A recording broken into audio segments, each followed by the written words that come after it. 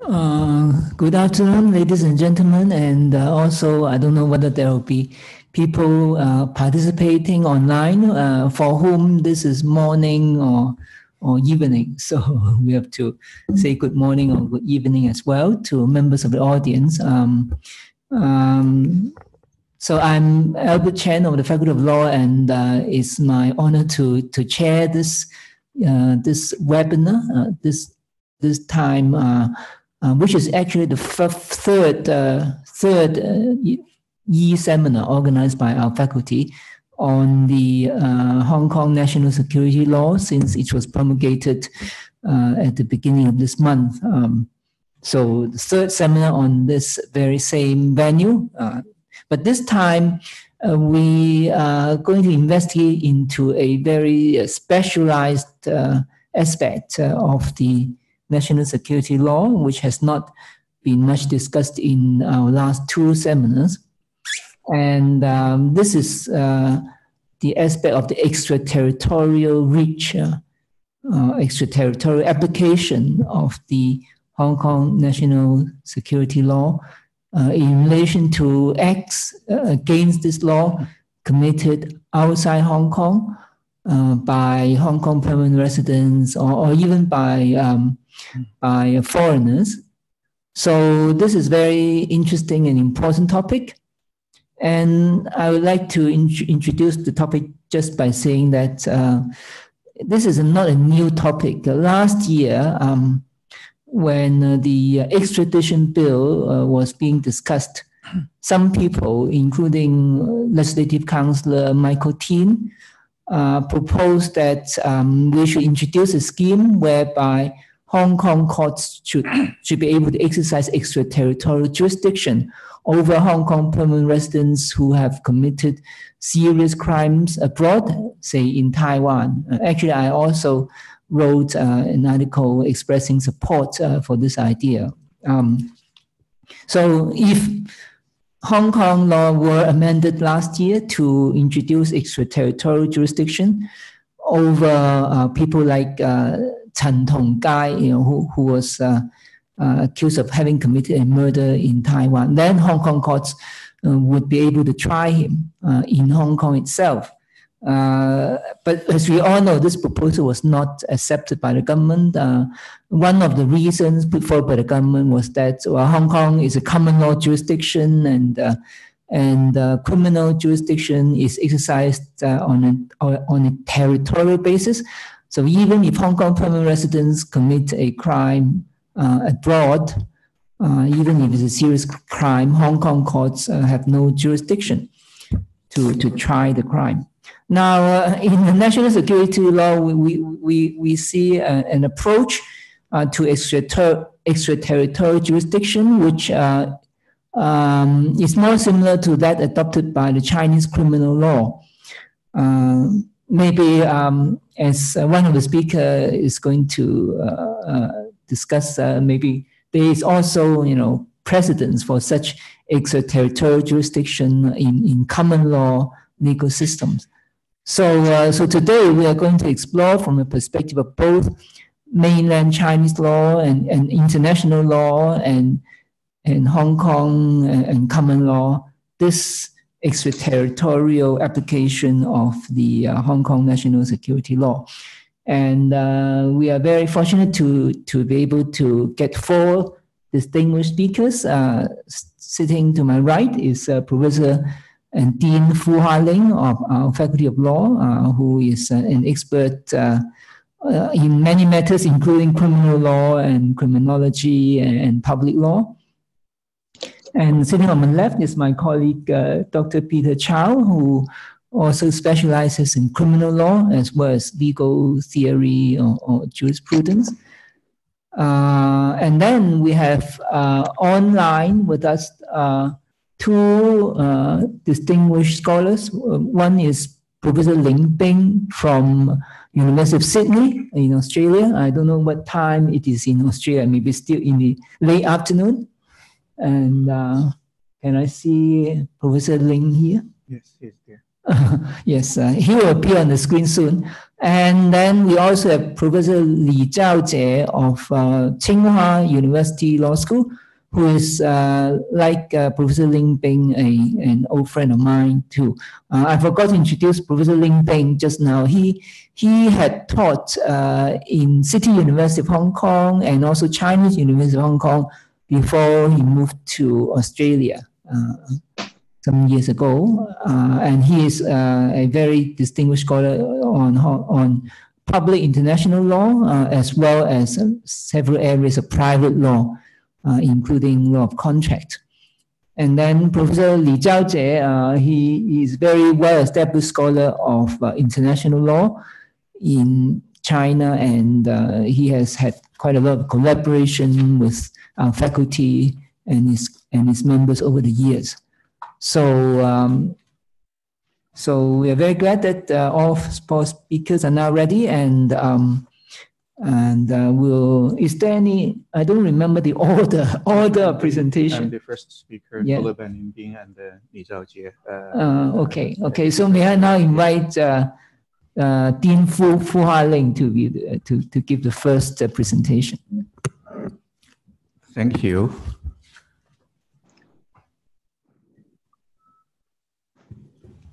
So um, the purpose uh, of, of my presentation today is really to introduce the, the basic rules of extraterritorial application of the national criminal law, that is the PRC criminal code um, so as to inform or frame our debate and uh, discussion today uh, on the extraterritorial application of the new national security law.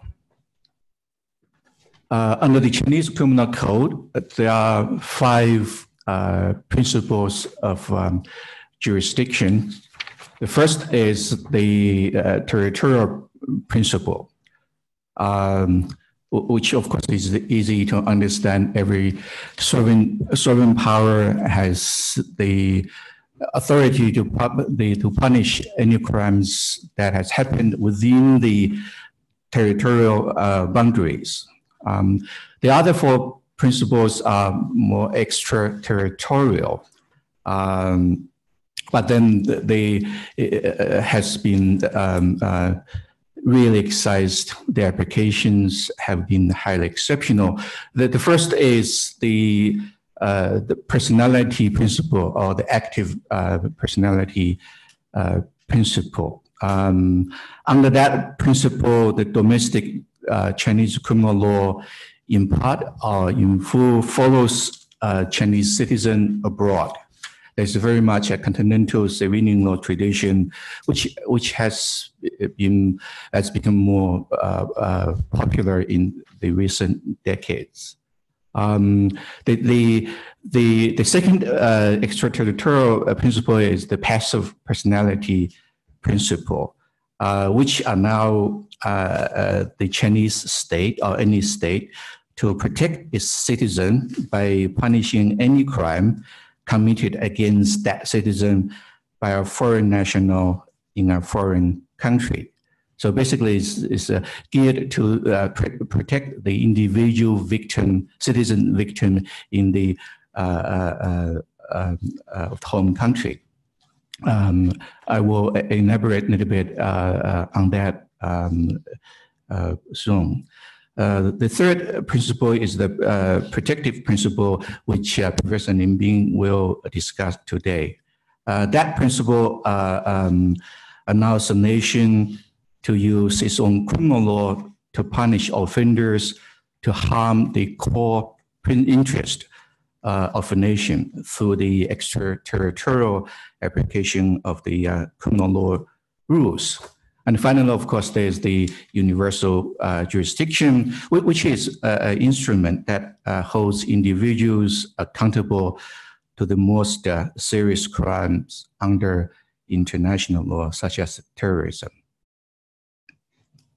Now, the, the uh, jurisdiction rules are provided in Chinese criminal code uh, from Article 6 to Article 8. Um, uh, the territorial principle is, is very simple. They basically the law says the criminal law apply is applicable to all who commit crimes within the territory of the PRC. Um, but then uh, there's the important uh, uh, uh qualifications. qualifications. The, when right, either the act or consequences of crime takes place within the PRC, then a crime will be deemed to have committed within the PRC territory. So that got to be uh, uh, the nexus is, is important. I think the it's, it's a bit tricky to uh, um, uh, to, to define act or consequences. Right in the Chinese criminal law uh, act is broadly defined to uh, include any preparatory act. So in that sense, uh, in Hong Kong, it's happened in, in, in the past that if a person purchase explosives in the mainland and uh, bring the, uh, the explosive to Hong Kong to commit criminal offense, that uh, is also the, the, the crime or been deemed to have uh, taken place in the um, mainland. There's the infamous case of uh, big spender Zhang Ziqiang. Right, he received capital offense by sort of purchasing explosives and use them in Hong Kong. Or in another case, you could uh, purchase poison and then use the poison in Hong Kong to murder someone. Uh, so that act itself is deemed as preparatory, and that, that will be regarded as a full uh, crime under Chinese criminal law. Um, consequences also defined uh, uh, broadly, right? Um, it, it, could be the impact. Uh, I will um, uh, explain this uh, soon. Now, personality principle is, is a very key principle under the uh, Chinese criminal law. Uh, the law provides that the criminal law is applicable to PRC state personnel and the military personnel who commit the offenses specified in the law outside the PRC. So there's no exception, right? For if you're a state functionary or uh, you're a military personnel, the whole criminal law will follow you when you travel overseas, right? Uh, that's the revised version. In the old criminal code, 1979, for example, uh, the, the, the offenses is, was determined not by the, the type of Chinese citizen, but by the type of offenses, right? If you commit the, what used to be called the counter-revolutionary offenses, then the whole criminal law would, would follow you when the, Chinese citizen traveled uh, outside of China. Um, those are the uh, the exceptional uh, rules. The the normal rules, uh, uh the, the the criminal code provides uh, the criminal law is applicable to PRC citizens, right? the, the, the citizens other than uh, state functionaries or military personnel, the other citizens who committed the, of, the crimes specified in the law outside of PRC, except, uh, those are the two things, uh, important thing, there's a minimum sentence requirement, except those crimes that carries a maximum sentence of less than three years fixed term imprisonment. So uh, if a Chinese citizen travel outside uh, and committed offenses that uh, carries uh, a maximum sentence of under uh, less than three years, then the Chinese criminal law doesn't follow, does not apply. So it's a limited uh, personality principle, and that, that is quite important. Um, and then the Chinese criminal law offers both a protective and passive personality principle.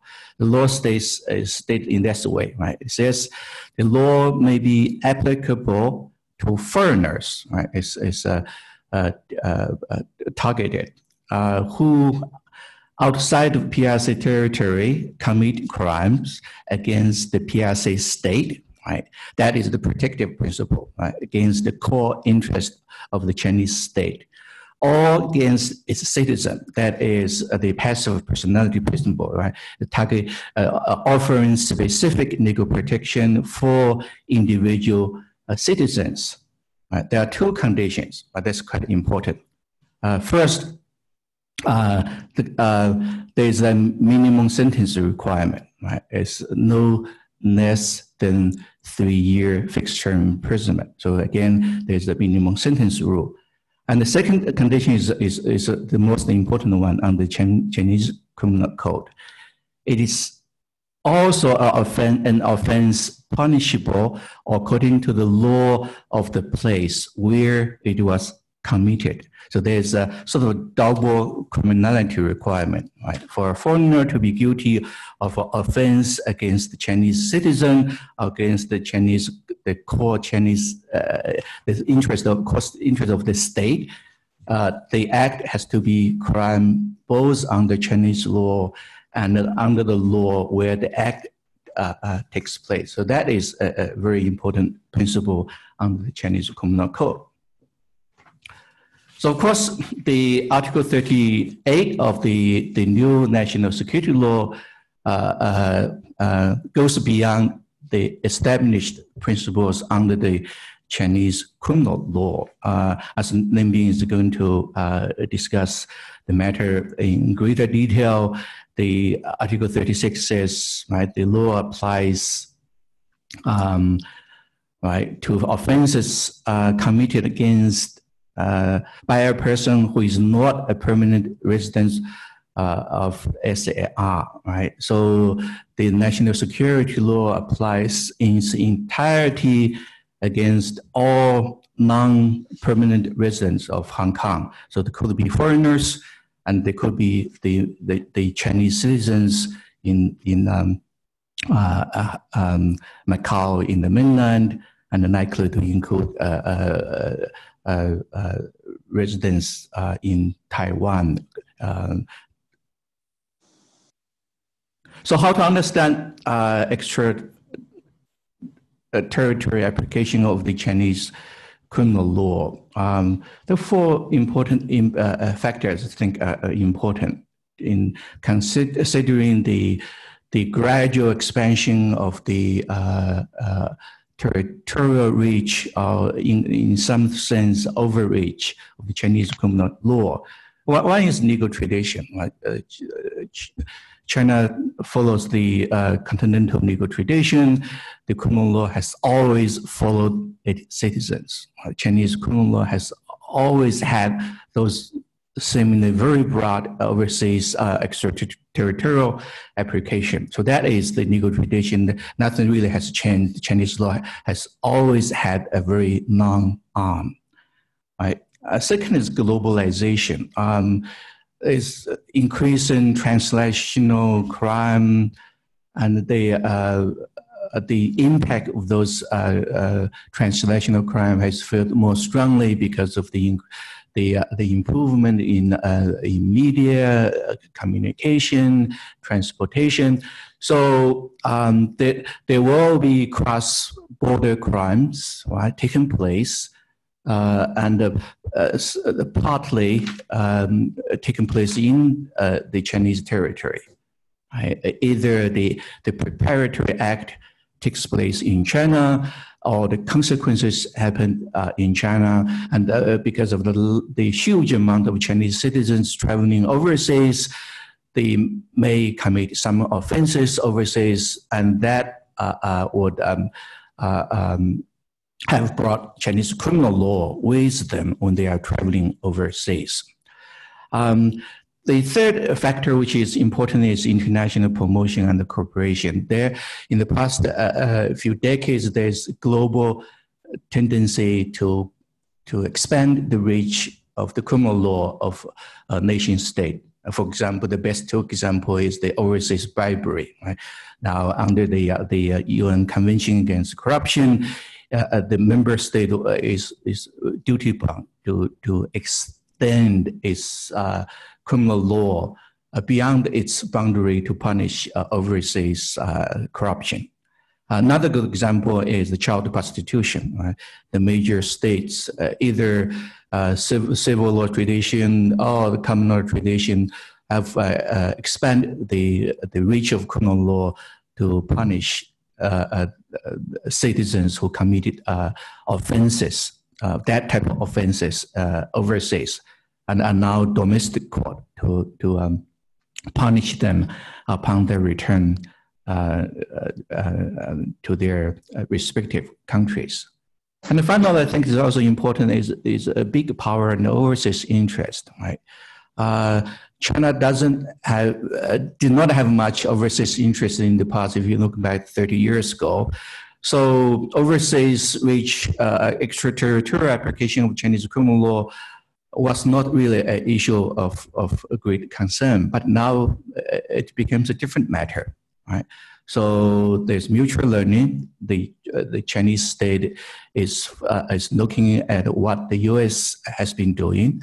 Uh, there is the tat war, right, in terms of uh, competition law, for example, and also the the the ex, uh, expansion of the territorial uh, application of the Chinese tort law, right? In, so so as when the Chinese state the economic power grows, and it's quite natural uh, in a way that the Chinese law, not only in criminal law, but also in, in other uh, the laws in other areas, would also expand and and uh, uh, and slowly, incrementally, but quite uh, forcefully, uh, um, found their application in foreign jurisdictions. Uh, finally, I have to say there are legal doctrines and there are legal practices. The Chinese law has always in, uh, uh enabled uh, very broad uh, extraterritorial jurisdictions, but in practice, China has really excised those extraterritorial um, applications. there are many examples which I'm not going to mention now. But if the overreach, uh, the, the uh, extraterritorial application becomes excessive, uh, then it will naturally, necessarily invite blockage and countermeasures from foreign countries where Chinese criminal law is being applied. Right? Uh, if the uh, overseas reach is deemed as excessive, then mutual legal assistance and, uh, and extradition being, becomes impossible. And that is what we've been uh, saying in the past few, uh, uh few days the, on the foreign responses uh, um, to the new national security law. Uh, at the end of the day, we should be looking at a balancing exercise. So domestically in Hong Kong, we're looking at the balancing between freedom and the security. Internationally, we'll be looking at uh, balancing between the community of nations and the protection of the core interest uh, of the uh, Chinese state. Uh, I will stop here. Thank you. Um, thank you very much, Hua Ling. Um, we, we will have uh, uh, quite some time for discussion after all the four speakers have spoken. So may I now invite uh, Professor Ling Bing to, to speak? Uh, I, yes, uh, Professor Ling.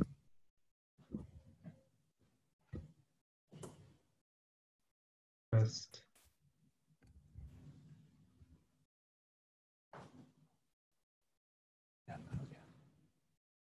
Okay. All right, can you hear me? Can you see my PowerPoint? Yes, yes. Oh, thank you. Oh, wonderful. Thank you.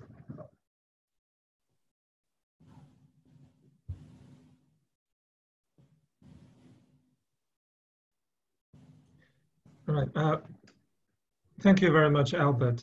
Uh, it's a great pleasure uh, to be here. And uh, good day, everyone. Uh, it's still winter here in Australia. Uh, I'm only two hours ahead, so uh, uh, it's it's uh, it's it's a great pleasure to be with my friends Hualing and James, uh, and and and everyone else. Uh, Hualing, I think, has provided us with a great and concise picture of the general legal principles and legal issues that are involved in here.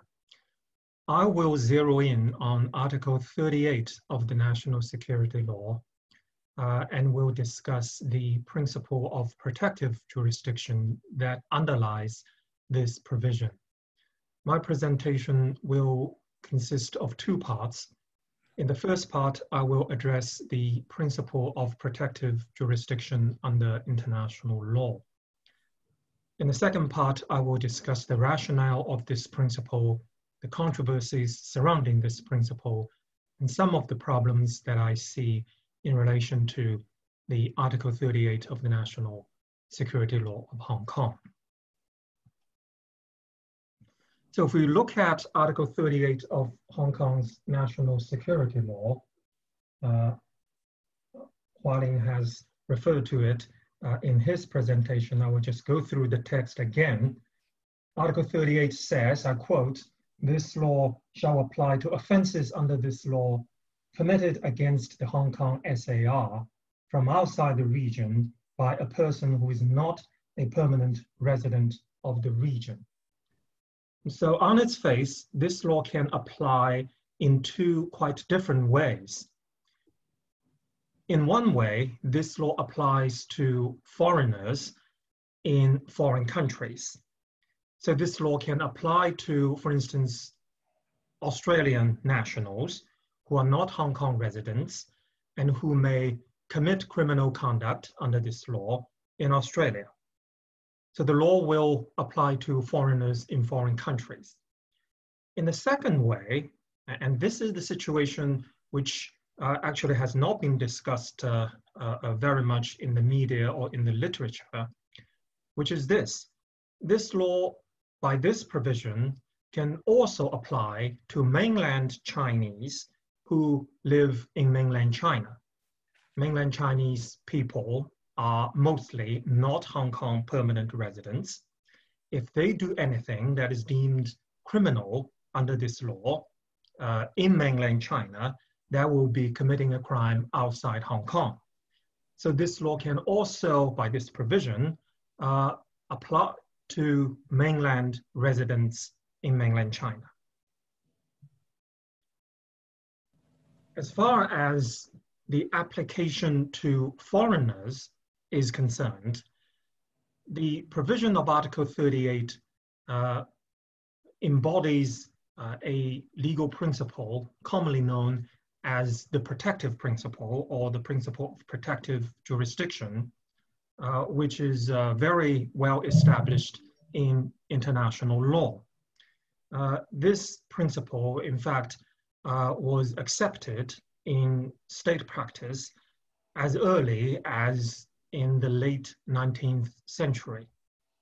Uh, the International Law Commission of the United Nations uh, in 2006, in its report to the UN General Assembly, uh, included a study of the issue of extraterritorial jurisdiction.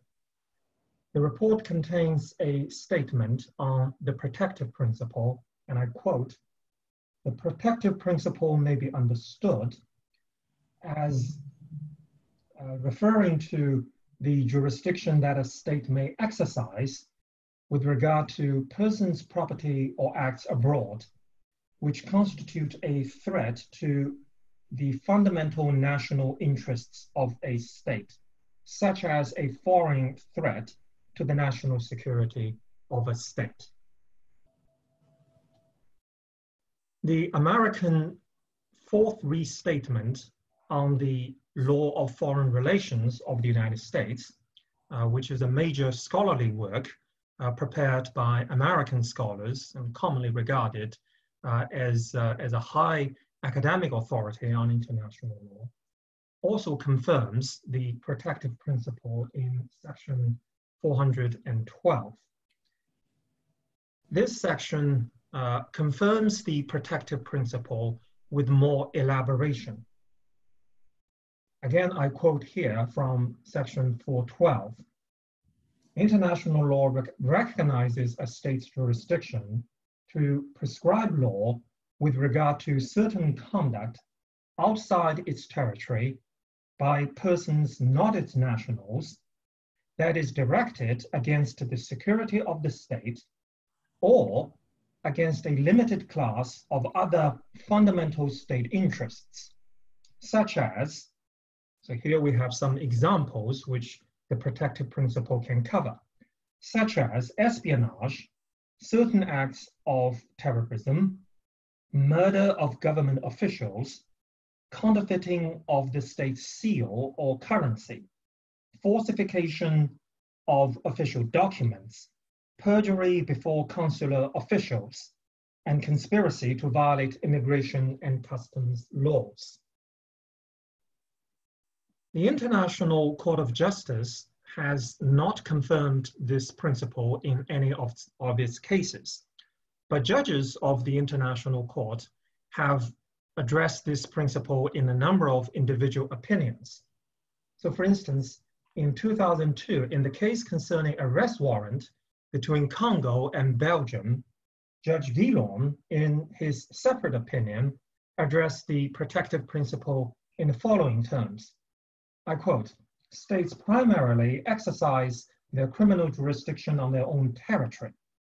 In classical international law, they normally have jurisdiction in respect of an offense committed abroad only if the offender, or at least the victim, is of their nationality, or if the crime threatens their internal or external security.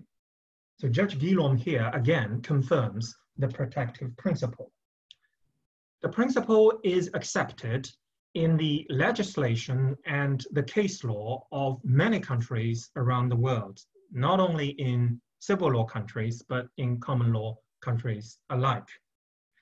In English law, uh, the most uh, authoritative statement on the protective jurisdiction uh, is probably the opinion of the House of Lords in the 1946 case uh, of Joyce against the Director of Public Prosecution, uh, in which the House of Lords made a judgment on the basis of the British Treason Act. In that case, Lord Jowitt, the chief, uh, uh, the, uh, the Lord Chancellor, had this to say about the protective principle. According to his lordship, here and I quote, no principle of comity demands that a state should ignore the crime of treason committed against it outside its territory. On the contrary, a proper regard for its own security requires that all those who commit their crime, whether they commit it within or without the realm, should be amenable to its laws.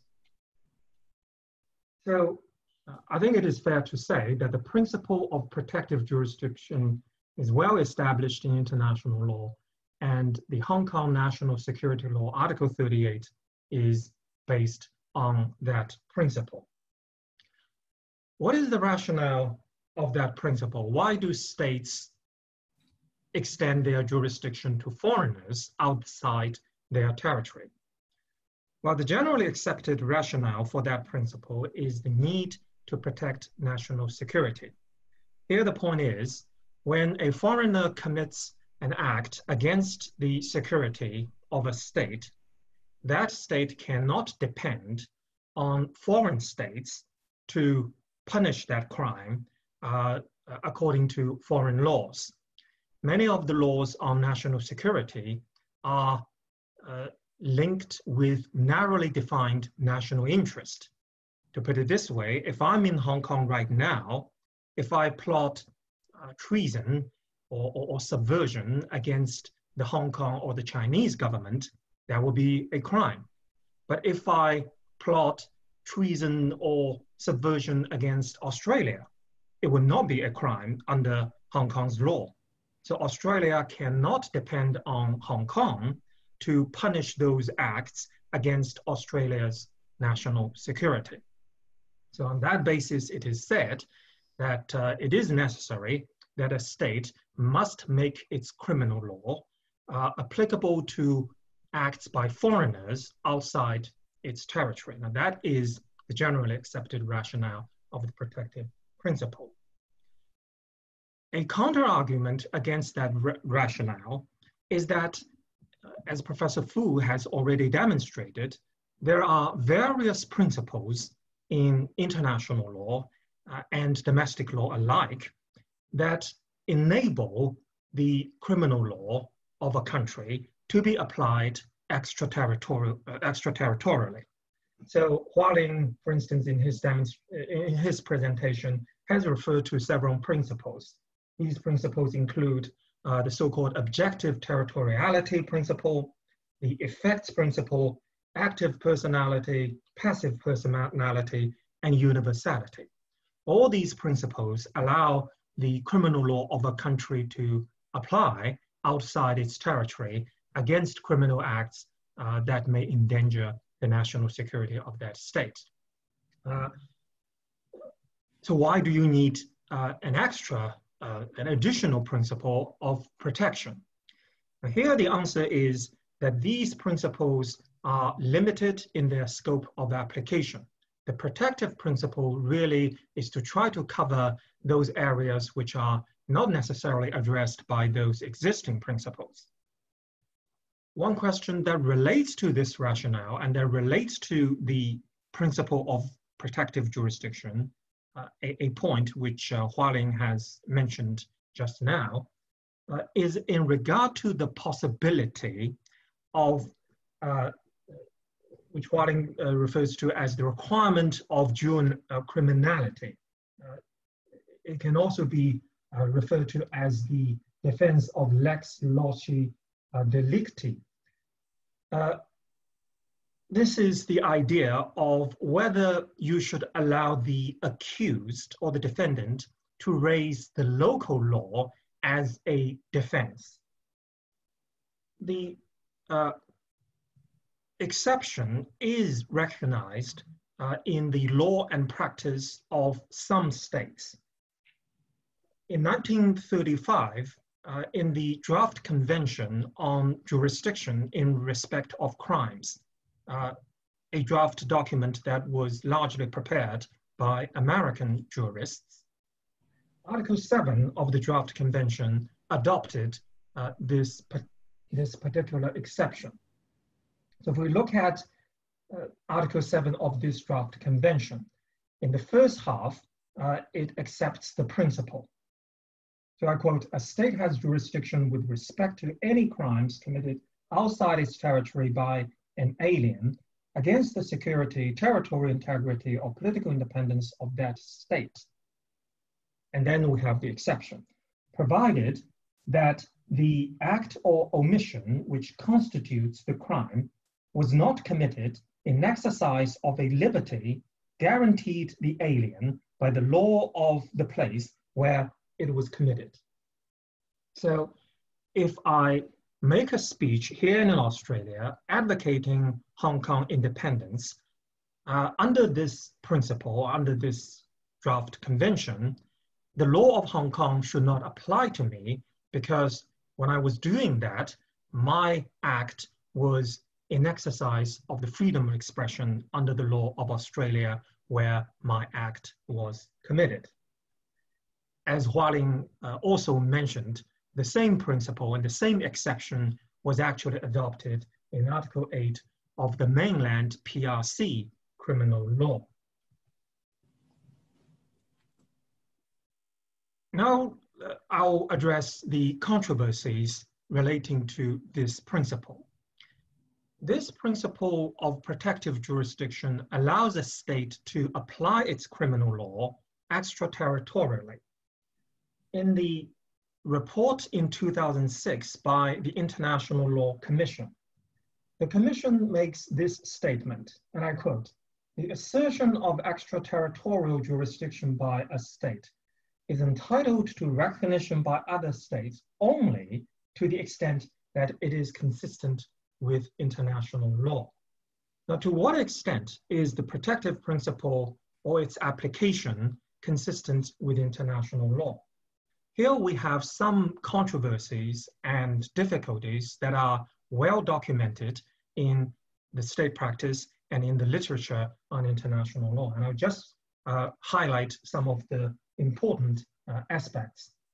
First of all, the scope of this principle is controversial.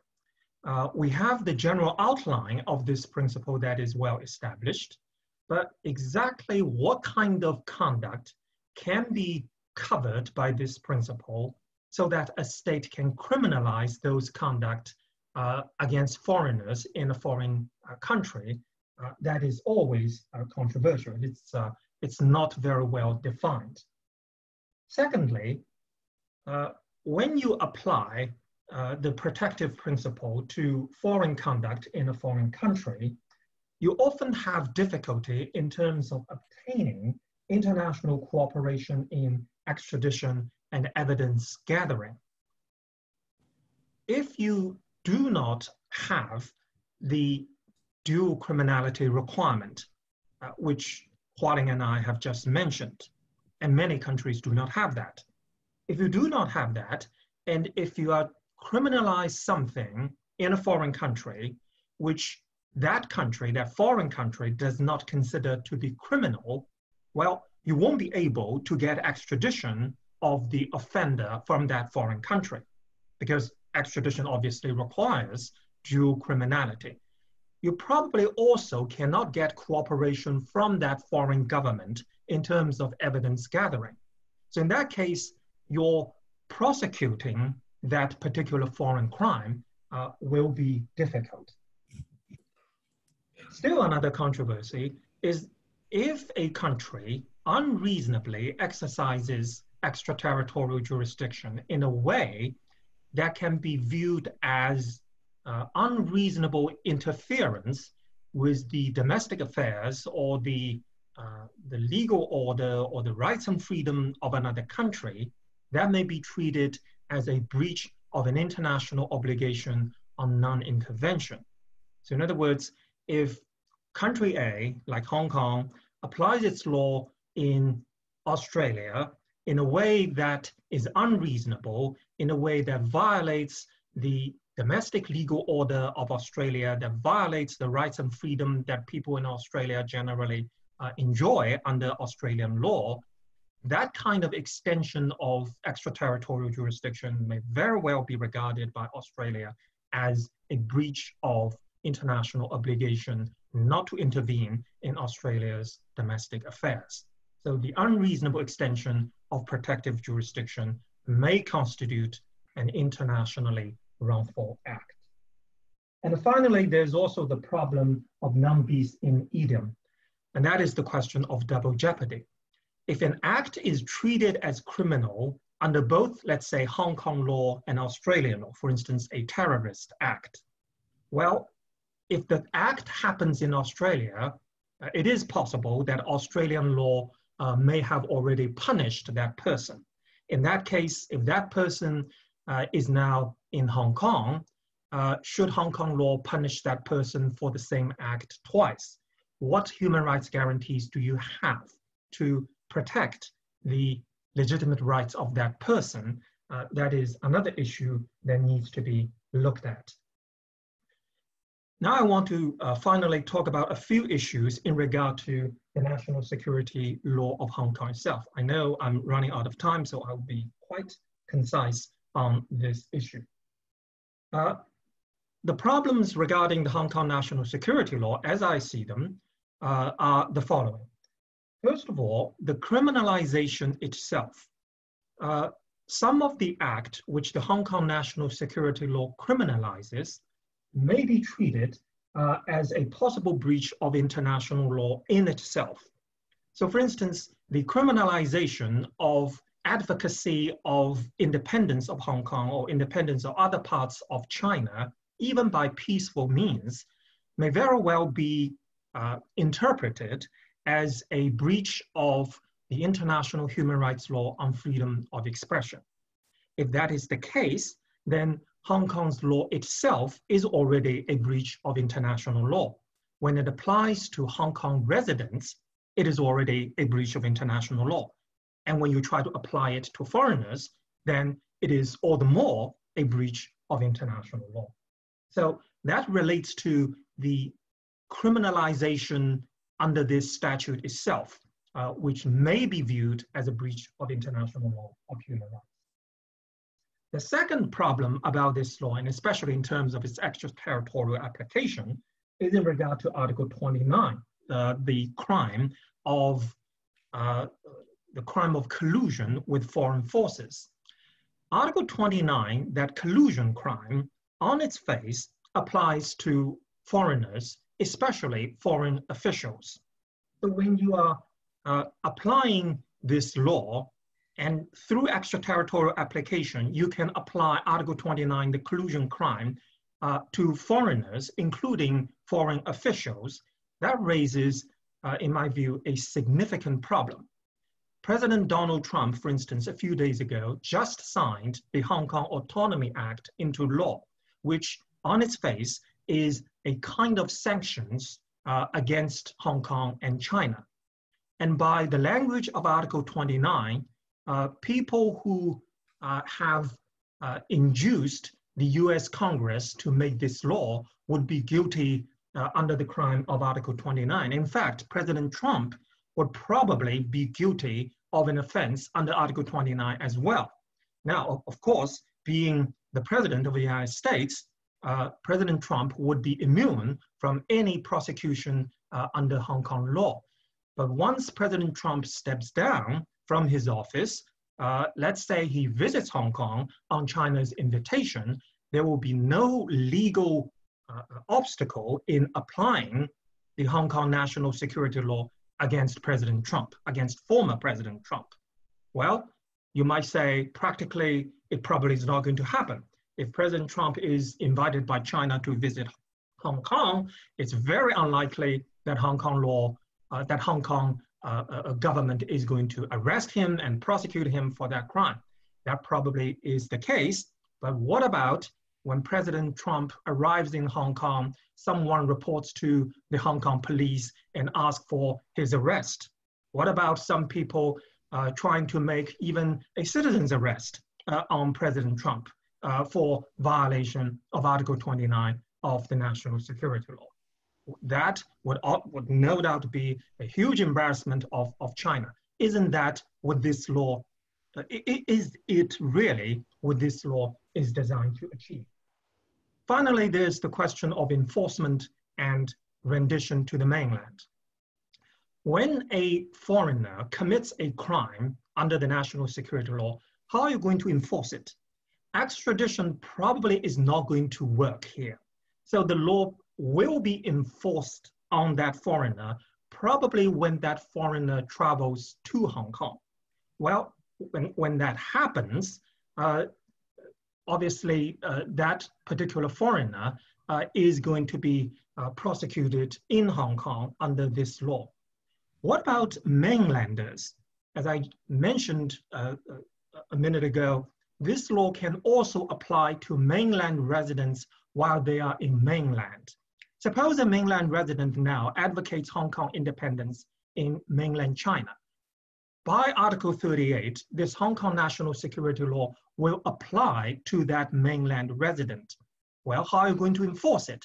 Are you going to arrest that person in mainland and have the mainland court uh, punish, uh, try and punish this person according to Hong Kong law? Or are you going to surrender this person to Hong Kong for Hong Kong court to try him under Hong Kong's national security law. Because after all, I think we are told that this law in most cases should be uh, enforced by Hong Kong police and Hong Kong courts. So what if mainland residents uh, breach this law in mainland China? Should we have rendition from mainland China uh, to Hong Kong under this law? I think all these are problems, uh, the solution to which remain unclear. Uh, I know I'm past my time. I thank you for your patience and thank you for inviting me to this seminar. Um, thank you very much, uh, for a very interesting presentation. Um, uh, we will now move on to uh, Professor Li Zhaojie of Tsinghua. And uh, let's see, uh, I cannot let's see Professor Li on the screen, but I suppose uh, he is uh, also ready to make his presentation. Yeah. Oh, I can now see Professor Li. Uh, yes, Professor Li, yeah, please go ahead. Um, Uh, good afternoon. Um, uh, hi, Albert, Hualing, and Ling Bing. Uh, it's really great to see you on screen. Uh, uh, well, uh, I have, you know, uh, uh, uh, been invited to this, you know, uh, very uh, uh, interesting uh, workshop, you know, um, uh, for this very, you know, significant subject matter.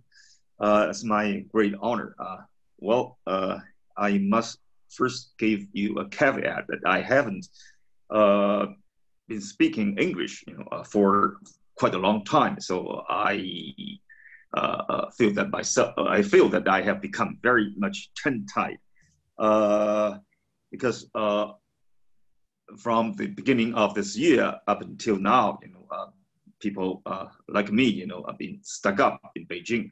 Uh, we have no, you know, uh, uh, uh, very active contact with outside world.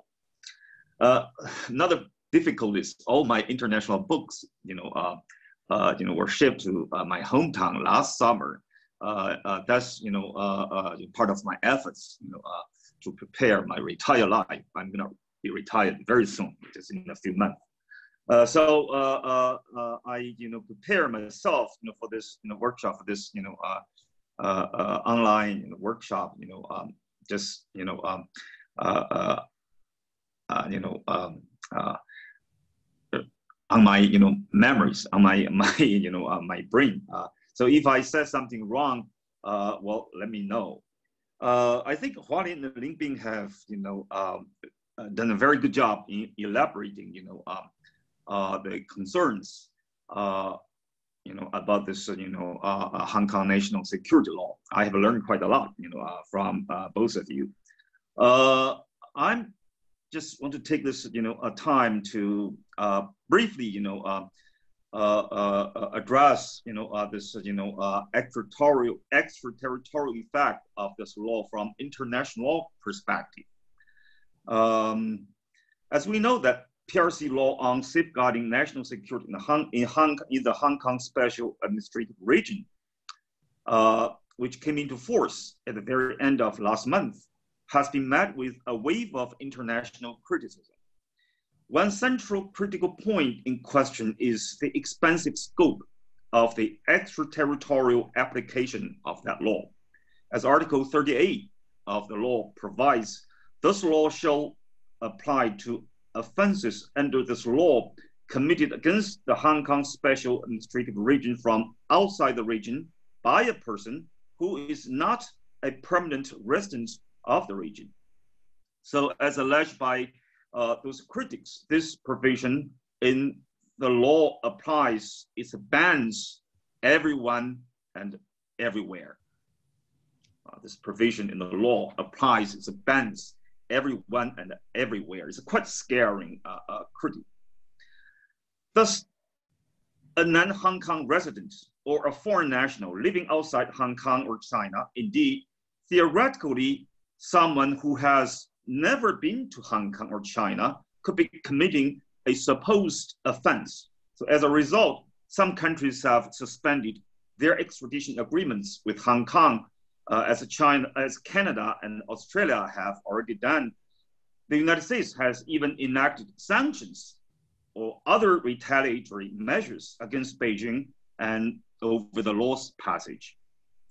Uh, putting aside these political controversies and measures uh, over this legislation, the Hong Kong national security law does raise a serious question concerning whether the extent and the limits of the extraterritorial application uh, as provided in Article 38 fall in conformity with uh, public international law. In the eyes of public international law, the extra, extraterritorial effect, uh, that is the extent, and the limits of national legislation, such as the Hong Kong National Security Law, is seen as a matter of a state jurisdiction to prescribe, or we call it prescriptive jurisdiction, uh, jurisdiction for short. This type of uh, jurisdiction concerns the authority of a state to make law applicable to persons or conduct.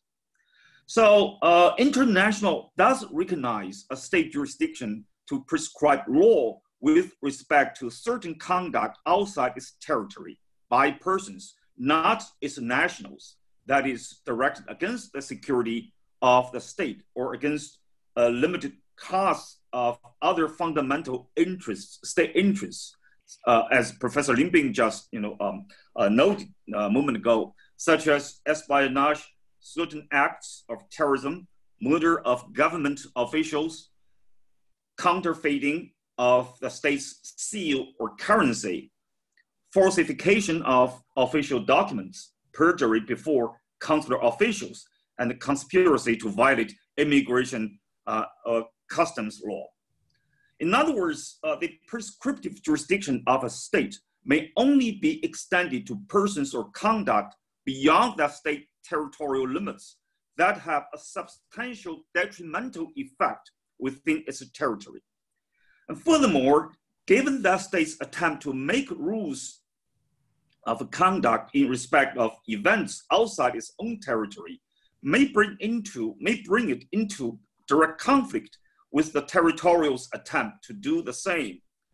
The necessity of preserving as much as possible the sovereign rights of the other state involved requires that a state's prescriptive jurisdiction only be exercised in such a way that these rights are impaired as little as possible.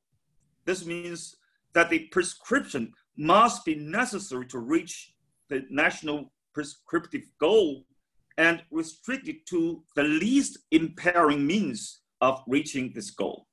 Otherwise, it may clash with the prohibition of non, uh, the prohibition of intervention uh, in another state's internal affairs or violate its right to territorial integrity or political independence. Uh, Professor Ling Bing just mentioned this uh, in his presentation.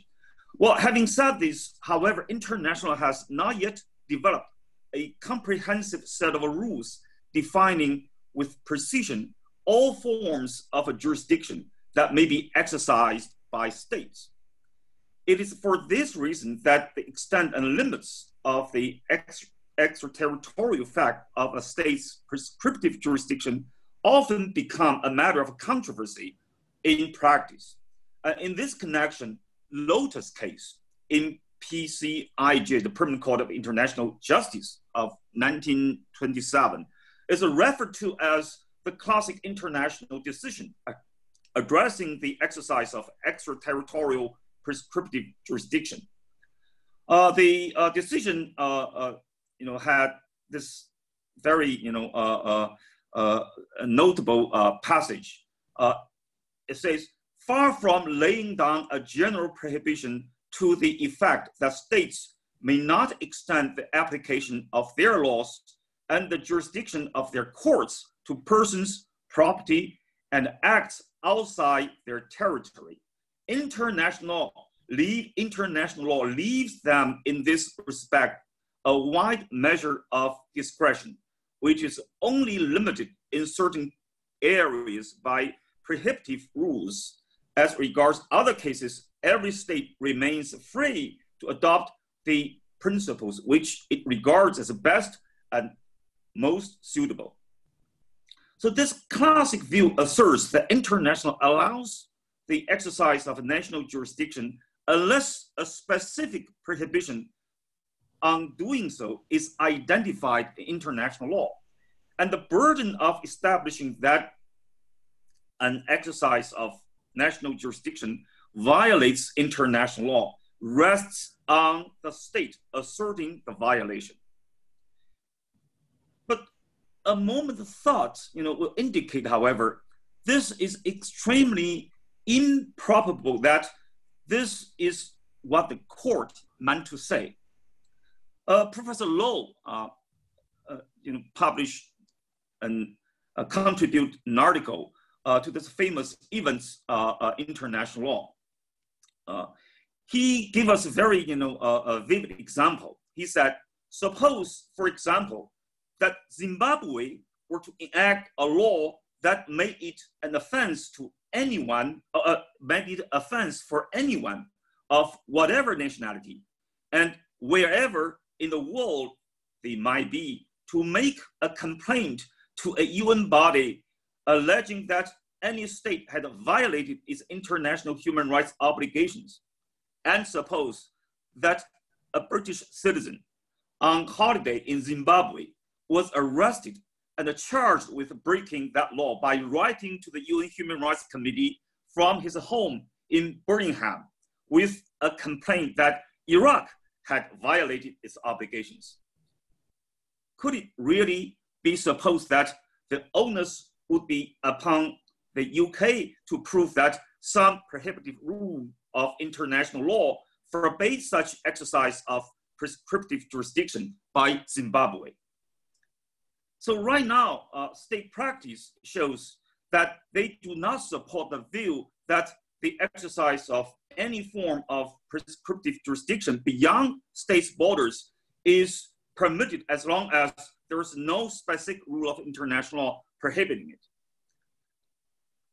In more than a century, as Professor Lowe uh, has noted, uh, in more than a century of objection to exercise of extraterritorial jurisdiction from the cutting case onwards, there seemed to be not a single instance of an objecting state, either seeking to prove that there existed a prohibitive rule forbidding, forbidding uh, the contested exercise of extraterritorial jurisdiction, or indicating that it might consider itself to be under any legal obligation to do so.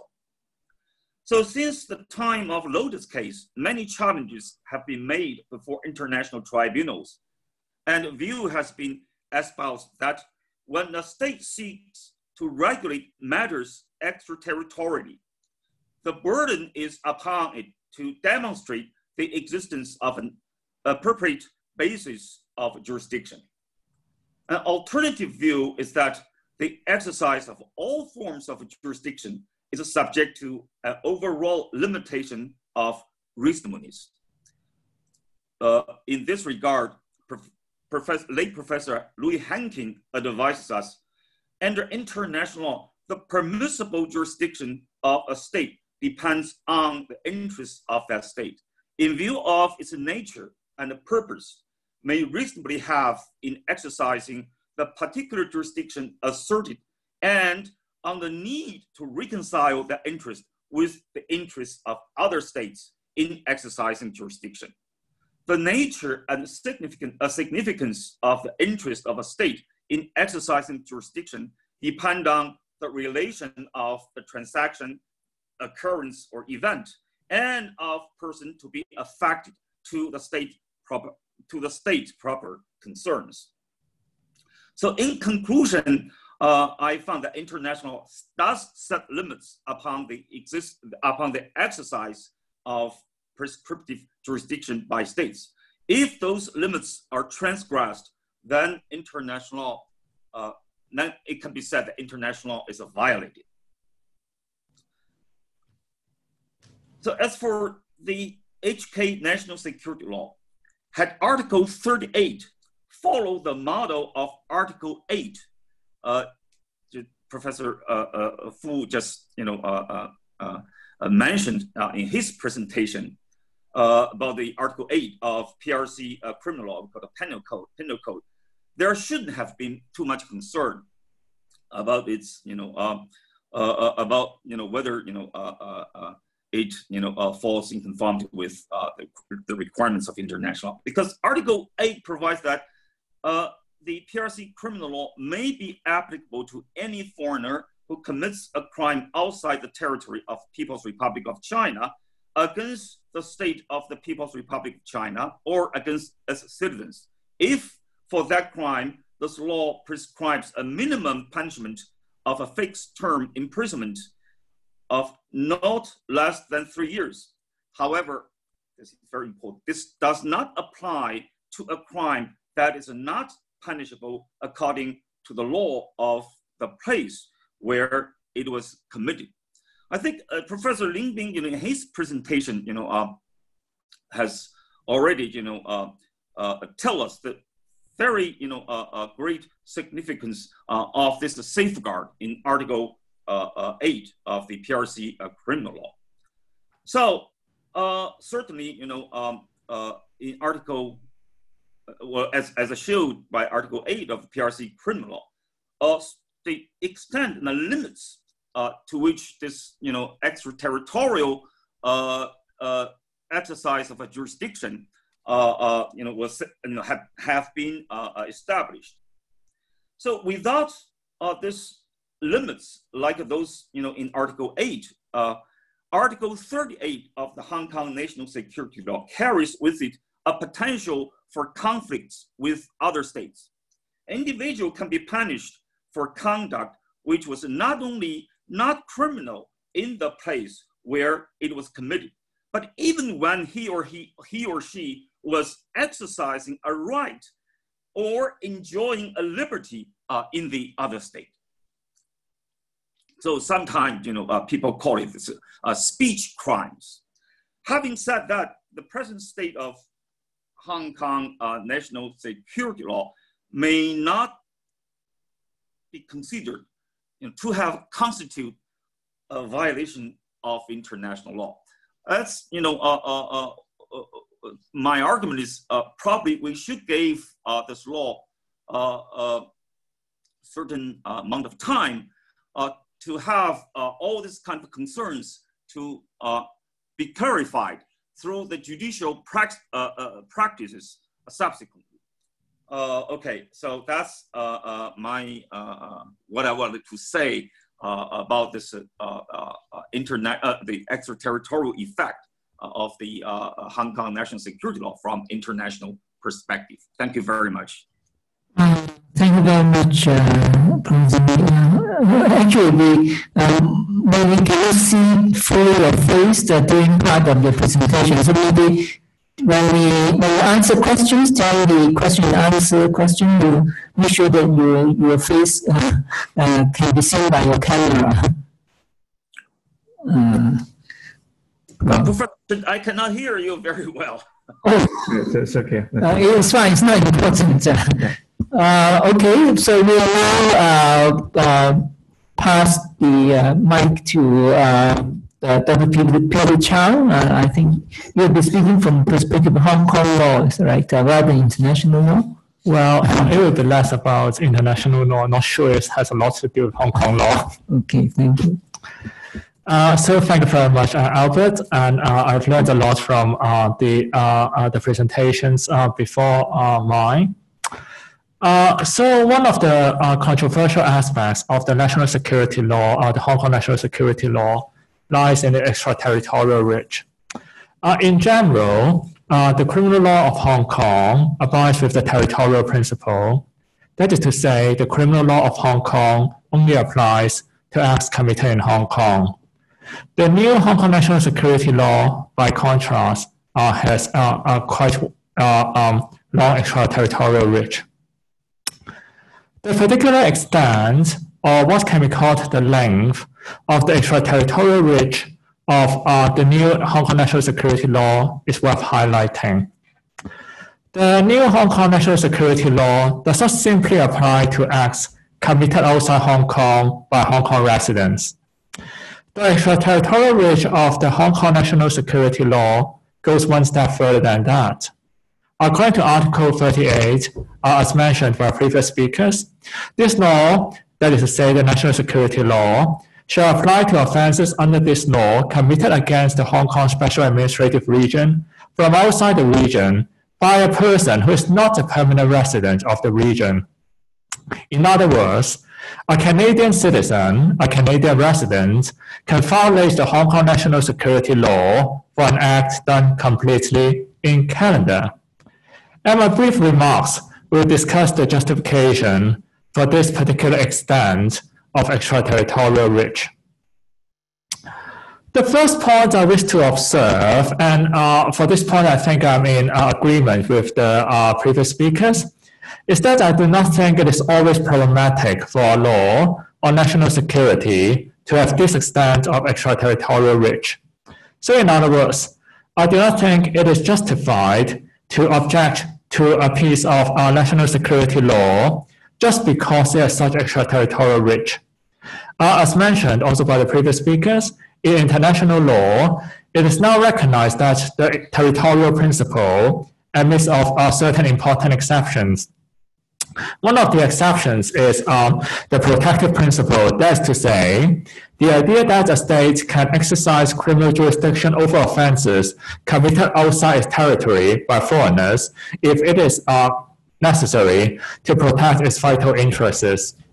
This principle applies, as noted by many, for example, Professor Cameron, uh, in the volume Oxford Public International Law, when the state exercises criminal jurisdiction, or when the state, when this principle applies, when the state exercising the criminal jurisdiction cannot expect other states to protect the relevant interests. To use an example, it may be unrealistic to expect the United States to care a lot about China's national security and therefore, it would be unrealistic to expect the United States will have a law to criminalize acts against the national security of China committed in the US. So, as a general proposition, uh, the protective principle does provide some justification for the extraterritorial, for the extraterritorial reach uh, of um, the Hong Kong national security law. Uh, so Professor Ling Bing uh, has uh, illustrated uh, the protective principle um, and uh, some justifications for it from the perspective of international law. And I wish to now cite some foreign law as examples of um, uh, exercise of protective jurisdiction. While some jurisdictions, for example, Canada, stick largely to the territorial principle, even in relation to national security offenses, uh, the national security law in many other foreign jurisdictions do have a similar territorial reach as the Hong Kong national security law. As a first example, under Article 11310 of the French Penal Code, for offenses that are defined as violations of the fundamental interests of the nation, French criminal law applies even if the act was committed outside France and by a foreigner. The fundamental interests of the nation as defined in the French Penal Code, includes matters like its independence, the integrity of its territory, and its security. As a second example, under Section 5 of the German Criminal Code, the German criminal law applies to some offenses endangering the democratic state under the rule of law and some offenses against national security, even for acts committed outside Germany by non-German nationals. And in favor of the Hong Kong national security law, we should note that Article 38 does not apply to all offenses under the, um, the national security law. As observed by some, including my colleague uh, Professor Albert Chen and Professor Simon Young, Article 38 only applies to offenses committed against the Hong Kong Special Administrative Region. And so, so suppose a foreigner commits an act outside Hong Kong that would have been an offense under the national security law, but his offense is not one against the Hong Kong Special Administrative Region. So as one example, suppose that person uh, advocates the independence of Taiwan from uh, the uh, China. So his act would have been an act against the national security law, but it does not seem to be on the face uh, an act against the Hong Kong Special Administrative Region. It seems that the national security law would not apply to him because Article 38 of the uh, national security law only applies to offenses uh, against the Hong Kong Special Administrative Region. So one may say that Hong Kong courts are entitled to protect the interests of Hong Kong, and this connection explains why if an offense is committed against the Hong Kong Special Administrative Region, it should come within the jurisdiction of Hong Kong courts. Having said the above, to say that in principle it is okay for a law on national security to have such extent of extraterritorial reach does not mean that, given the particular offenses under our Hong Kong particular national security law, it is unproblematic to, for it to have that kind of extraterritorial reach. So let me um, use an analogy uh, to explain my point. In Hong Kong criminal law, generally speaking, the prosecution is required to prove all issues beyond reasonable doubt. That is to say, the burden of proof stays with the prosecution rather than the defense. And it is, of course, the well-known presumption of innocence. This presumption, however, is not absolute. Sometimes, for some offenses, it is justified to shift the burden of proof to the defense if some requirements, such as rationality and proportionality, are satisfied. So it's wrong to claim that in abstract, it's always unjustified to shift the burden of proof to the defense. But to say that it is not always wrong to shift the burden of proof to the defense does not, of course, mean that it is always okay to shift the burden of proof to the defense. Whether it's justified to do so would depend on which offense we are talking about. Perhaps it might be okay to shift the burden of proof to the defense for some minor offenses, but it would not be okay to do so for offenses like rape or murder. This point, I think, is well tried and well recognized. Okay. Uh, analogously, well, I think that it is not always problematic for a piece of law on national security to have a long extraterritorial reach. We should have second thoughts about this matter in the context of the particular Hong Kong national security law, given that, as I think it's fair to say, the offenses provided by the Hong Kong national security law are quite wide. So, for example, one can commit a secession offense under the Hong Kong national security law, regardless of whether he uses or encourages the use of force or unlawful means. Perhaps the wide scope of the Hong Kong national security law uh, can be justified by considerations such as deterrence, but whether it is so is not my concern here. My point here is simply that some legitimate concerns can be raised when we combine the width of the Hong Kong national security offenses with the length of its extraterritorial reach. Let me use an example to illustrate my. And I believe this example is similar to the one used by Professor um, uh, Ling Bing uh, in his presentation. But the point I think is quite uh, important, so it is worth uh, re-emphasizing. Suppose a Canadian citizen advocates in Canada that every territory, including Quebec and Hong Kong, should have a right to self-determination. He tells the audience, and his audience are all in Canada, that they should organize themselves and try their best to achieve that purpose by peaceful means. And he encourages Hong Kong people who are living in Canada to form a pressure group in Canada to achieve that purpose. His organization and encouragement of Quebec people to seek independence would not be an offense against Canadian law. But arguably, he would have committed an offense under Article 20 and Article 21 of the Hong Kong National Security Law through organizing in Canada and inciting people in Canada to organize the separation of Hong Kong from the PRC. And if he passes by Hong Kong in the future, say as a tourist, he can in principle be arrested. Uh, this uh, situation uh, can be uh, regarded to be problematic Professor Ling and Professor Li has addressed, uh, uh, has discussed this problem from the perspective of international law. Another problem that I wish to highlight concerns the issue of fair warning.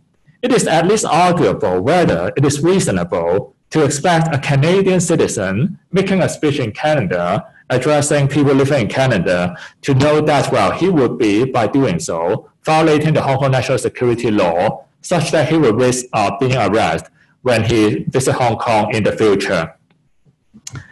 In this connection, uh, I want to make a reference to the national security law in Macau. So uh, I'm not an expert on Macau law, but it seems to me that under Article 10 of the national security law um, uh, in Macau, the law only has extraterritorial reach for Macau residents. That is to say, if a Macau resident uh, committed uh, some acts that fall under national security law abroad, he would be um, uh, caught. However, a foreigner uh, an act against the Macau national security law outside Macau, he will not be caught by uh, Article 10 of the um, national security law uh, in Macau. So, so, so that is to say, the Hong Kong, the extraterritorial reach of the Hong Kong national security law actually goes further than uh, that uh, of Macau. And we may wonder whether this bit of extraterritorial reach uh, is necessary. So that's my that's what what I want to say about the topic. Thank you very much. Okay. Um, so, uh, thank you very much, uh, Peter. So, um, so uh, since all the speakers have now given their presentation, we'll now move on to discussion, questions, and answers. So, uh, I, I, have um, uh, got a few questions uh, which have been sent to us uh, online. Uh, before I move to those questions, um, maybe I'll just ask the, the first question myself. Uh, several speakers have referred to um, this article in the Chinese criminal law. Uh, I think it is Article, article 8. Is it Article 8? Article 6. Uh, Article 8, 6. Um, okay, Article 6. Uh, of the Chinese criminal law, um, referring to foreigners in the uh, foreigners outside uh, the PRC uh, who commit acts against the, the Chinese criminal law. Uh, with regard to the Chinese state or Chinese citizens. Uh, the, this is the um, this is the Oh, yes. Uh, I don't know whether this version is up to date, but, but this is Article 6 in this particular version. So if such an act is committed by the foreigner uh, outside the PRC, and according to the Chinese law, the, um, the punishment is uh, three years uh, imprisonment or more, then the Chinese criminal law applies to this foreigner unless um, uh, is not criminalized by the law of the place where the act is committed. So I, I have the following question uh, as to how this proviso about uh, the act not being criminal according to the law of the place where it is committed. Suppose we are concerned with offenses like treason or subversion, mainly trying to overthrow the Chinese state. So suppose a, foreigner uh, outside China will involve activities to, to, to try to overthrow the Chinese state, which would, be a kind of treason or, subversion uh, Chinese law. Now, of course, know, the foreigner is in another state, say in the US, but the law in the US which criminalizes uh, any activity to, to overthrow the, the PRC state. So how do we apply this proviso? Well, just what is any law in the US against treason and subversion, and if there's law in the US against treason and subversion, uh, then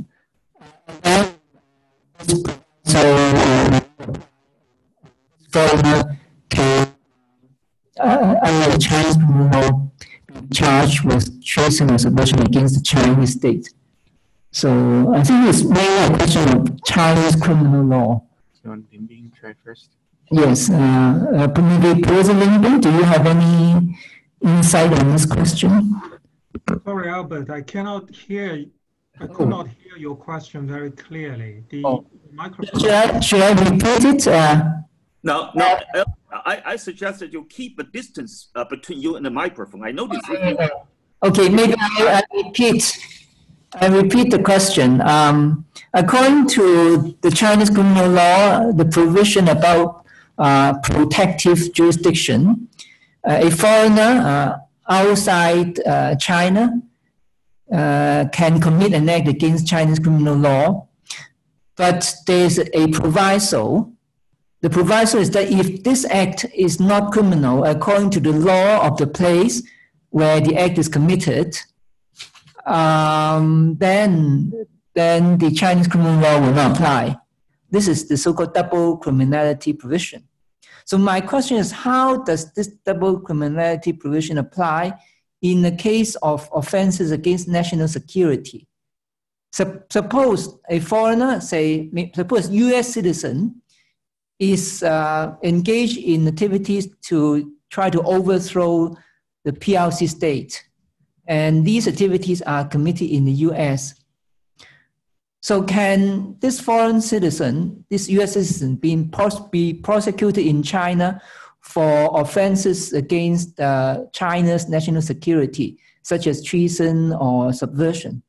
When we apply this double criminality rule, how do we apply uh, the rule when there is no no law uh, in the U.S.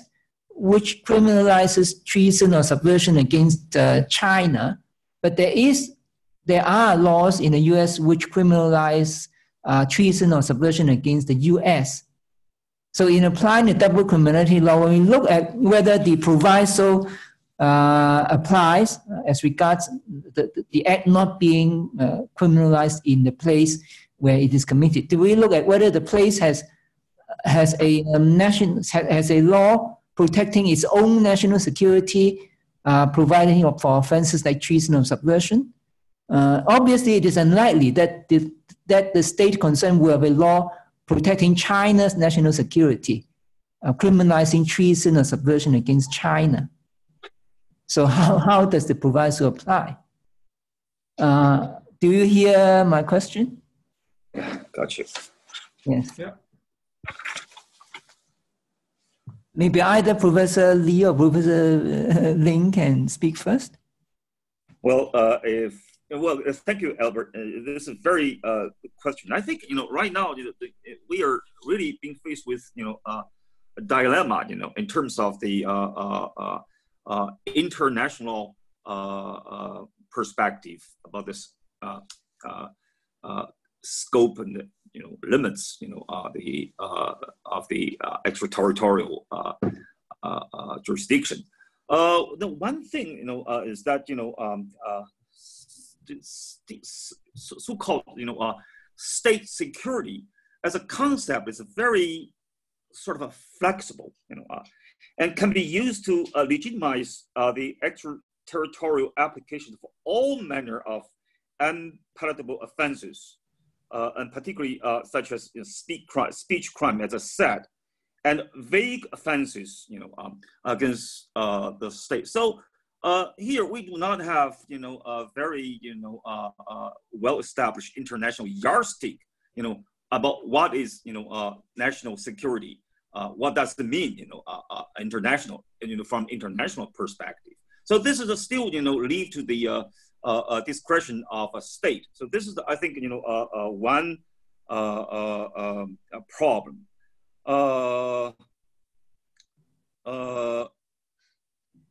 another thing is, you know, um,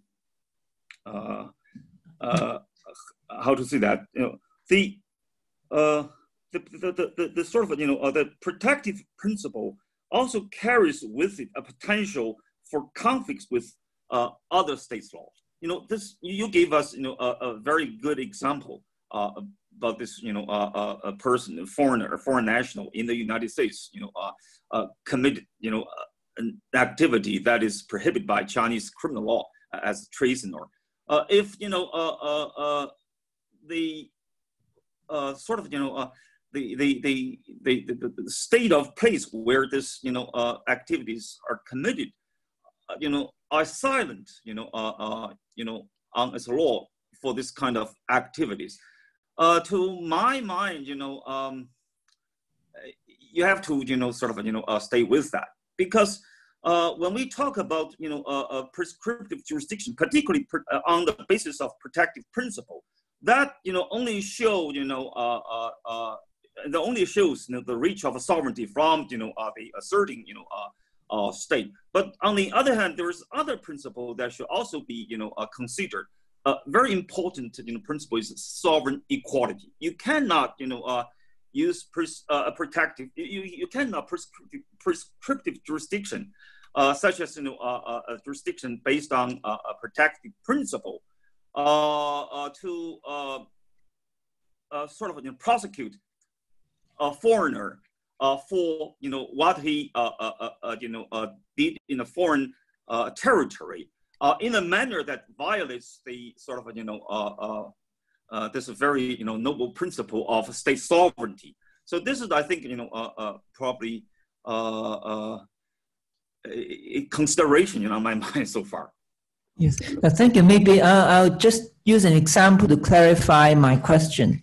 Uh, I think the speakers uh, have just said that, well, uh, for protective jurisdiction, they may be, uh, it may be exercised in relation to crimes like um, murder of uh, officials, counterfeiting currencies, falsification of documents. Now, for these offenses, uh, I think there's no problem in satisfying the double criminality requirement because I'm sure there will be, you know, in, in the case of a foreigner in, in uh, say, uh, US, in US who commit these crimes, uh, I mean, there is definitely laws in the US against counterfeiting of currency or falsification of documents. So there's no problem that the Chinese criminal law uh, on these offenses can also apply on an extraterritorial basis. So my problem is, is with offenses against the core uh, of national security, such as treason or subversion, namely to overthrow a particular state. In the US, there will certainly be no law against overthrowing uh, another state like the PRC. So, so, so when we apply this double criminality provision, do we look at whether there is law in US against treason or subversion? And, and, and if there is such law, then the Chinese law on treason or subversion can apply to this uh, foreigner uh, outside China. So that, that, that is my question. Um, can I, can I uh, uh make a few comments on this question, Albert? Yes, uh, please. yes. Uh, can you hear me? Yes, yes. Yes, yes. well, it is commonplace that some, some crimes are particularly linked and narrowly linked to the interest of a particular nation. So if I'm in China, I do treason against China, that's a crime. I do treason against Australia, that's not a crime under Chinese law. I bribe Chinese official, that's a crime. I bribe Australian official in China, that's not a crime under uh, uh, uh Chinese law. So you have these crimes that are particularly linked to the interest of the state which makes the criminal law. Now your question is, in Article, it's actually Article 8 of the Chinese criminal law, there is this exception uh, in favor of local law defense. If I commit one of those crimes that's narrowly linked to the Chinese interest, such as things like secession or treason or bribery, for instance. Uh, how do we apply the double, the dual criminality requirement? Actually, Albert, as you were speaking, I just got a WeChat message from one of my colleagues in, in Beijing, and he was telling me that uh, actually in China, there were very small number of cases that have applied uh, this particular Article 8. Uh, he says there were no more than six cases. Uh, so I'm pretty sure that, that Chinese courts probably have not uh, answered this question yet. And as you properly pointed out, this is a question of interpretation of Chinese law. There is no answer in international law uh, to that question. And as far as Chinese law is concerned, my guess would be that a Chinese judge would say, well, if US has treason law or bribery law, that's good enough for me. Uh, the defendant cannot benefit from that exception. Uh, the defend the, uh, our Chinese law uh, can apply to that defendant. And I would actually agree with that judge's view. Uh, even though the Chinese law on how to apply the double criminality requirement is not clear, uh, the international jurisprudence on the application of the dual criminality requirement in relation to extradition law, uh, however, is quite clear. And we here in, you know, people in China obviously have been uh, paying a lot of attention to the Meng Wanzhou case in Canada. And the recent judgment was precisely on the point of dual criminality. And I think under, if we follow uh, the extradition jurisprudence, now, obviously, treason and secession, that kind of thing, usually is not covered by extradition, being uh, political offense. But uh, offenses like uh, corruption or, or, or bribery, uh, it probably would be enough uh, if the law of the other country has uh, provisions dealing with similar conduct and considering these conduct as, as criminal. It is not necessary that the foreign law uh, should criminalize a particular conduct against a particular country. So I would, so, so to, to answer your question, I would think that as long as the American, the US law has uh, criminalized treason or, or, or, subversion and, and, and so forth, uh, Chinese law would uh, apply to the crime. I'm not sure if Hualing uh, has other thoughts on that, and I would certainly love to hear that. I, I, think um, I th look at the past cases. It's difficult to offer some guidance, right? Uh, I think the Cutting case that was referred to, which is uh, was a case from uh, 1880 something, is about criminal defamation. Right, the U.S. answer for the for, for, for the Mexican prosecution of American citizen for criminally defaming a Mexican citizen was that when the U.S. law, our defamation was defined differently. So had the act happened in the U.S., that person would not have been guilty. So even though defamation is the name of the offense, but then if you look at the substance, if they are different, then you will have difficulties to apply the uh, double criminality rules. Most of the cases, unfortunately, happen to uh, to terrorism, which is, tend to be more universal.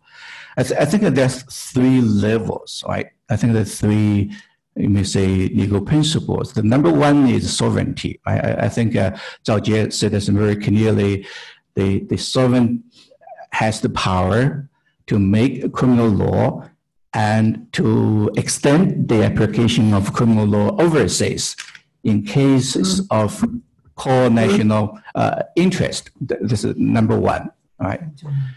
Number two is the laws of the the uh, uh, let me use the term the foreign state, right? Say Australian, Can- Canadian laws, whether they define treason uh, subversion if there is such an offense in that way, right? Then there may be uh, there are countries probably share the Chinese tradition, define secession more or less the same way, right? Then you don't have a conflict. Um, but beyond that, there's a third principle. I think there are international norms, right? Uh, there are minimum rules in the international law all nation states would have to follow, right? In that sense, then uh, that uh, would have some overriding impact uh, on the, the, the definition, doctrines, and the practices of uh, you know, double criminality uh, in both extradition and in uh, jurisdiction matters. Um, it seems that some members of the audience said that my this mic of mine is not working, so I'm now using the other mic. So what I'll do is maybe to read out uh, several questions, and then um, maybe uh, the speakers can can can consider which question they would like to answer.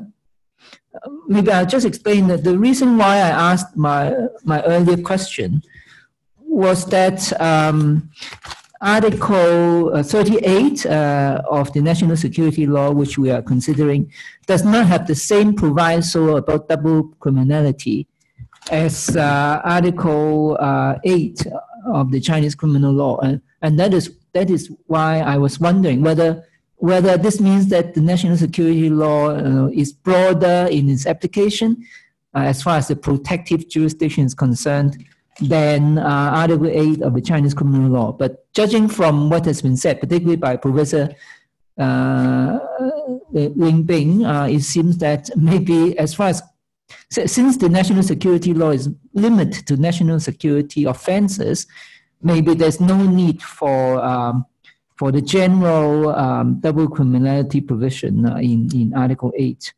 Uh, but but this is a difficult question, and uh, we can uh, consider this further in the future. Now, maybe um, I'll read a few questions. Um, one question. Uh, uh, well, sorry, this says this was shut down in two questions, two, two, two, two seconds. I'm sorry. I'm sorry, there are some technical problems. Uh, some technical problems. The, the questions have disappeared from this screen. Is there another screen with questions which I can read out?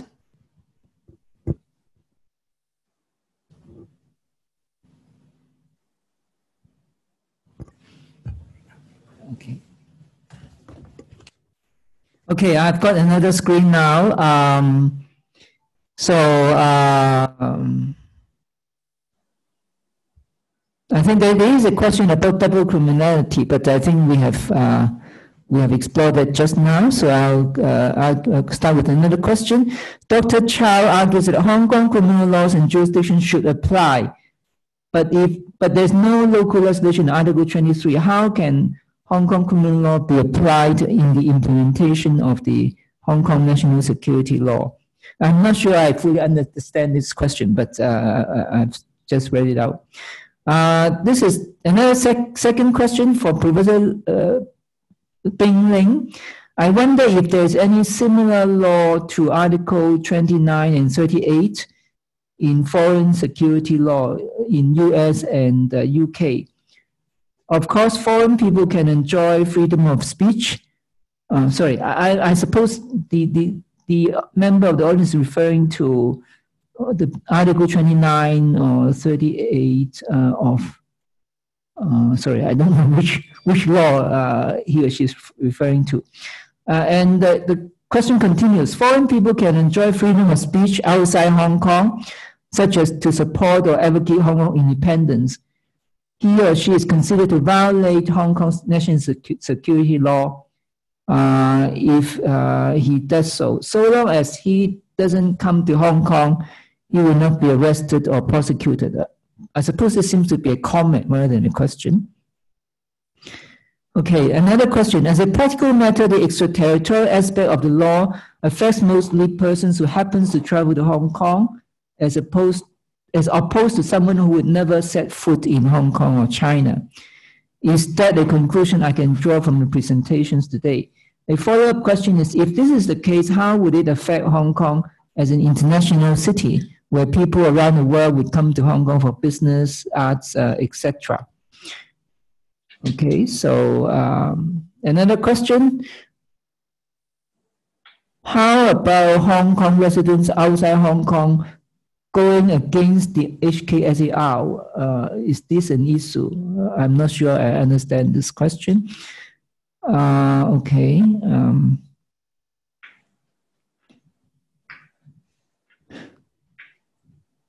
okay, Professor Fu said the extraterritorial principle has been rarely applied by China.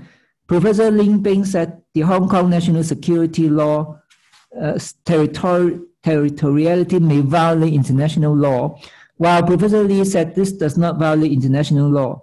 My question is whether the extraterritoriality principle violates international law is not the issue. The major challenge is how China applies the Hong Kong national security law in the Hong Kong case, i.e., the constitutional practices are and will be more important than whether the Hong Kong national security law violates the international law. Do the three professors agree on this point? So that is one question. um, okay, another question. While Professor Ling argued the ban on peaceful advocacy could be international law, which exact which exact international law are we referring to? And uh, and since of course like such is that justified? Um, is that justified to drop the, the extradition treaties with Hong Kong as Australia and Canada are doing? Okay, another question. How can University of Hong Kong protect professors in their universities on this national security law regarding academic freedom. And, and another, uh, so there are many questions. Maybe I should read out. Otherwise, people can complain. Will complain that their questions are not given attention. Is that too many questions? Maybe have first round. Uh, I think just give me a few more minutes to read out a few more. Uh,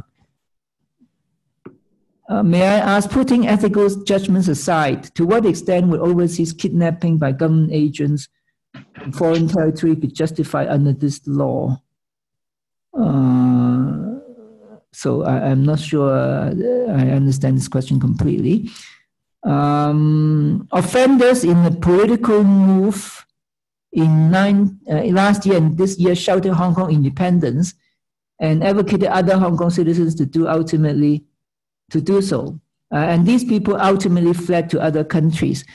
The extraterritorial reach of the national security law cannot be successfully prosecuted if the counterpart government does not cooperate. Oh, so, so this is a uh, this is a, a, a, comment. So maybe uh, there are still other questions which I'll read out as a second batch.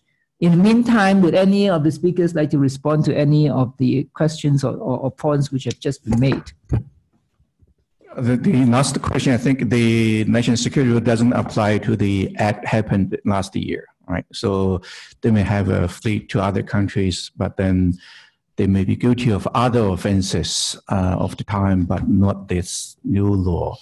Uh, kidnapping, of course, is a different matter. I think I think the the issue is uh, that there are two separate issues. One is uh, criminality. Right? The the law says certain things are, are crime, regardless of where you are. Right? Whether the state uh, government uh, has the power, resources, and the political will to enforce those laws over this uh, is, is one matter. Right?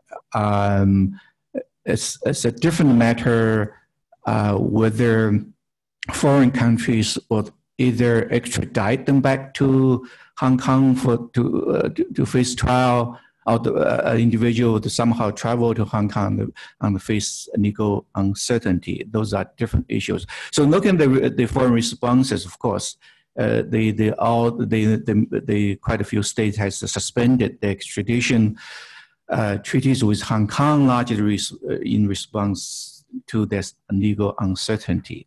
Uh, and um, and uh, uh, I think that Article 33 is a huge challenge. I think the the one the, the person raised the question is right. Of course, I, I, Hong Kong is an international city. Uh, people travel around. Um, if people stop doing that, then uh, that would have huge uh, political and economic impact in Hong Kong. As to the question of uh, academic freedom, uh, it, there will be a separate issue that will, will be addressed uh, um, in, in due course. Thank you. Um, Professor Ling, uh, any, do you have any comments? Uh? I just, uh, uh, before I address some of the questions, uh, I think, Albert, the question that you uh, asked earlier, which I answered a little bit, actually is, is very important. Uh, and, and, it is a fundamental question. Uh, the question about uh, applying your law to a crime that's committed in a foreign country and to take into account what foreign law says about that particular conduct, uh, it really uh, illustrates the kind of a fundamental uh, balance of interests that is involved in uh, these uh, principles on extraterritorial jurisdiction. Obviously, from Hong Kong's point of view, you want to protect the national security, and that's why you want to extend your law to foreign conduct. But on the other hand, uh, extension of foreign law, extension of criminal law to a foreign country may very well interfere with the legal order, the, the, the domestic affairs of, of another country. So you want to take into account what foreign law has to say uh, about the conduct. So where are you going to strike the balance? I think that's, uh, that, that, that's really uh, what underlies the question that you put forward. But I, uh, I think I would say the fact that Article 38 does not include this, this exception, this double criminality requirement, is still very significant. Because if we look at the crimes that are set out in this national security law, there are certain crimes, so-called crimes, uh, that are clearly not crimes uh, under the law of foreign countries.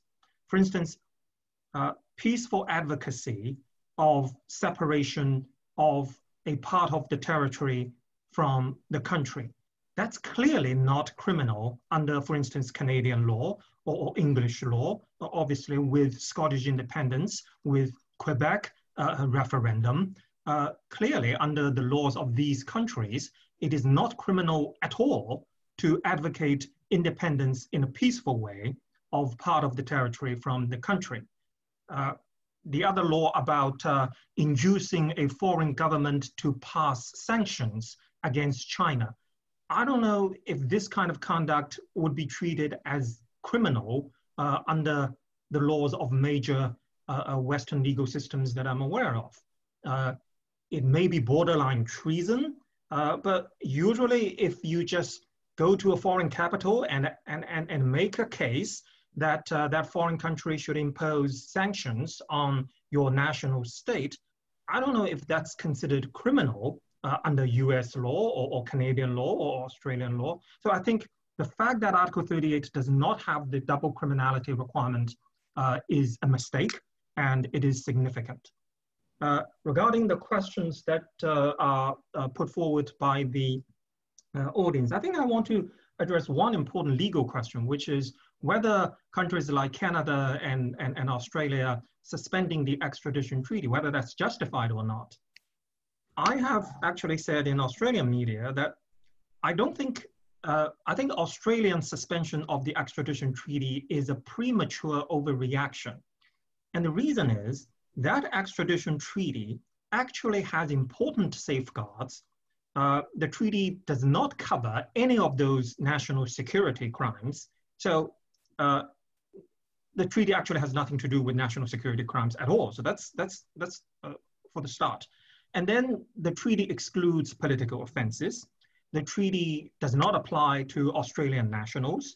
So I thought uh, the Australian government was acting prematurely uh, in suspending the extradition treaty. However, I thought the the suspension, uh, which is allowed under the treaty itself, the treaty allows termination uh, of the treaty with six month notice. So it's, it's legally allowed. And it is also understandable because of Article 55 of the National Security Law, the provision regarding central jurisdiction. If, let's say, we have a terrorist crime and Hong Kong requests extradition from Australia, and presumably, I would think that uh, the crime will be covered by the treaty. And if Australia surrenders the terrorist suspect to Hong Kong, and let's say then uh, the National Security Office in Hong Kong steps in and says, Article 85, we want this person to be tried in Beijing. Now, under the national security law, on what ground can Hong Kong refuse that request? I can't see any. That person, under the law, has to be transferred to Beijing, and that person will be prosecuted and tried and punished in China. That, I think, is really the, a killer for the extradition relationship between Hong Kong and Australia, and probably with other countries too.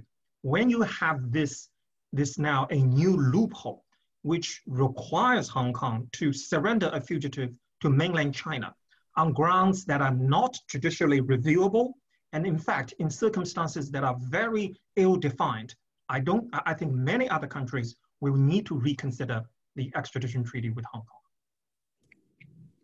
Uh, thank you. Um, Professor Li, would you, do you have any comments? Uh, uh, well, you know, uh, now in China, uh, you know, we also um, uh, did some informal discussions about, you know, the extraterritorial effects of this. We cannot see your face, uh, Dajia. Uh, cannot see your face. What about now? Yes, that's yeah, better. Now, yeah, yeah, that's better. Okay, uh, I said, you know, uh, uh, uh, you know, back in China, you know, we had, you know, some informal online discussion about, you know, uh, the um, uh, extraterritorial effect of this, you know, Hong Kong national security law. And I feel that you know sort of you know um, too much expensive, you know, in terms of the scope and the limits, you know, um, uh, uh, you know, to this, you know, extraterritorial application uh, is really concerned. But you know, um, some of you know uh, Chinese uh, mainland-based Chinese scholars, uh, you know, thought about this, you know, in another direction. Say, oh, this is sort of a comprehensive, you know, uh, coverage uh, uh, in terms of you know extraterritorial application. is, is, is good because you know it can, you know, serve as a sort of a deterrence uh, uh, to you know those troublemakers. So uh, we don't give them a chance, you know, to to to flee you know, from this legal nexus. Uh, I uh, really you know sort of you know uh, saw you know gave you know quite a considerable thought about this argument. I think it's a wrong. You know, we cannot use you know this argument to justify this sort of you know seemingly very comprehensive without the non-limits, you know, uh, uh, uh, you know, to these, you know, ex-territorial jurisdiction. the, the, the, I think you know, the, the, the, the concern, you know, uh, uh, uh, here uh, I think Professor Fu, you know, just uh, did that, you know, a moment ago. Uh, and also Professor Lingbing used the balance, you know, of the two concerns. One is sort of you, when we say jurisdiction, that's a reach of sovereignty. When you have to sort of, you know, the interest, particularly the fundamental interest. We, the, the America use fundamental, not the core, to be sort of, you know, well protected. But on the other hand, other states' interests should also be well uh, respected and also you know, uh, protected. So uh, uh, uh, the, the, the, the very difficult job is where this you know line of balance uh, should be sort of drawn. that is sort of you know probably you know not very easy to answer. So that's what I said. You know, uh, so far you cannot say you know uh, the present state of you know uh, uh Hong Kong national security law violates you know sort of you know uh, customary or you know international because I, I, I do believe that you know uh, if you know we have uh, more t- if gave more time to this Hong Kong national security law, probably a lot of you know questions can be clarified in the through throughout this process of judicial practice. Uh, some one raises question, you know, uh, uh, when the people draft, you know, uh, Hong Kong national security do they, uh, you know, take account, uh, uh, uh, you know, into the requirements of international law? Uh, my answer is I don't know. Uh, uh, uh, someone asked, is international that important, more important than sort of, you know, a constitutional law? I'm a scholar, you know, I'm of international law, you know, I'm been teaching internet. I, I, I think, you know, uh, uh, uh, uh in this, uh, you know, uh, today's world, you know, uh, you know, uh, uh, you know, we're living in this era of interdependence, you know, uh, uh, uh, good, you know, uh, inter, uh, well international, you know, uh, uh, uh, based uh, domestic law, particularly, you know, domestic law with this territorial effect, uh, uh, is a very important thing. It's a very important thing. Uh, you know, Professor Ling uh, just mentioned about uh, the reason why, you know, uh, uh, uh Australia, you know, uh, suspended the extradition agreement. Because without this sort of, you know, respect to, you know, international requirements, you lost trust, certainty about your, you know, own legal system. The people from other countries, I think they, they, they, they feel very reluctant to travel into Hong Kong. Uh, so this is, you know, uh, uh, my answer to this question. International is also equally important. Thank you. Thank you. Um, Peter, do you have any comment? No. okay. So so I will read out several more questions. Um, this is probably the last round of questions since we, our seminar is originally supposed to end at 5 p.m., but we'll extend it uh, uh, for 20 minutes uh, so as to allow a second batch of questions. So uh, I'll start with uh, there's there's one question about um,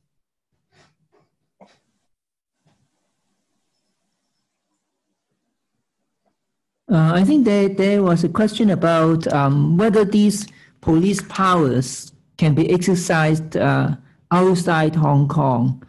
Uh, under under the national security law, the police uh, is given fairly extensive powers, but can they exercise them outside Hong Kong? That's one question. Um,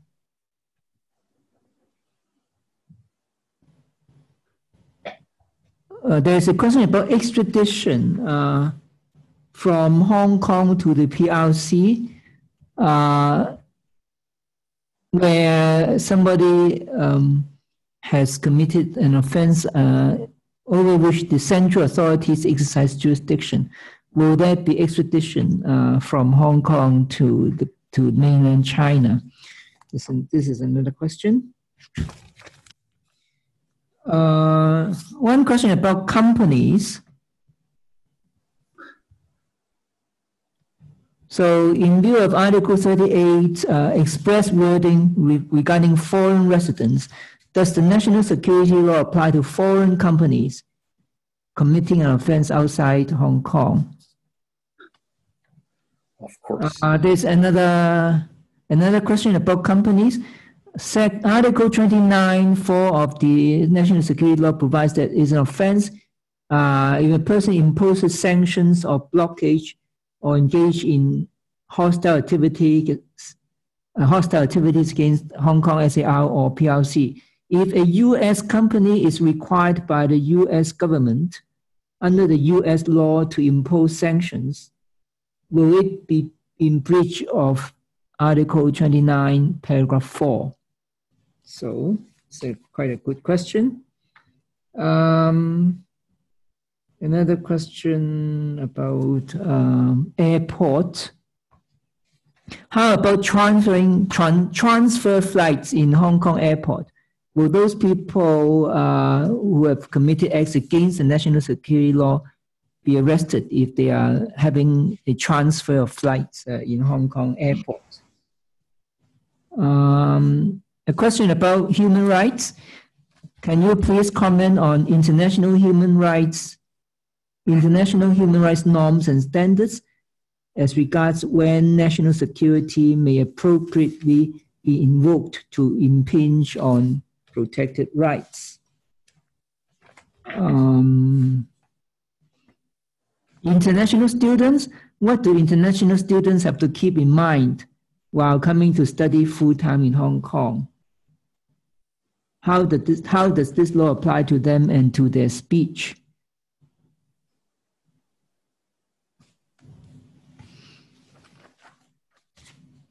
Um, Hong Kong supposedly do not exercise press control or, relig- uh, or on control of religion, peaceful demonstration, etc. But say a journal reported in a reported a potential corruption issue regarding a senior official. Uh, it seems an offense on lacking on leaking national state secrets. I think it is, uh, and it passed to overseas countries may result in sanction against the government. Uh, so press and media individuals, whether they reside in Hong Kong or not, are no longer entitled to um, to these these pro, this right to protest, etc. Uh, so this is uh, the question. Um, Oh, this one question about Professor Li. Can Professor Li expand on why he thinks that deterrence for troublemakers as a justification is wrong? Uh, so uh, I'm not sure I heard exactly this point, but this is the question. Um,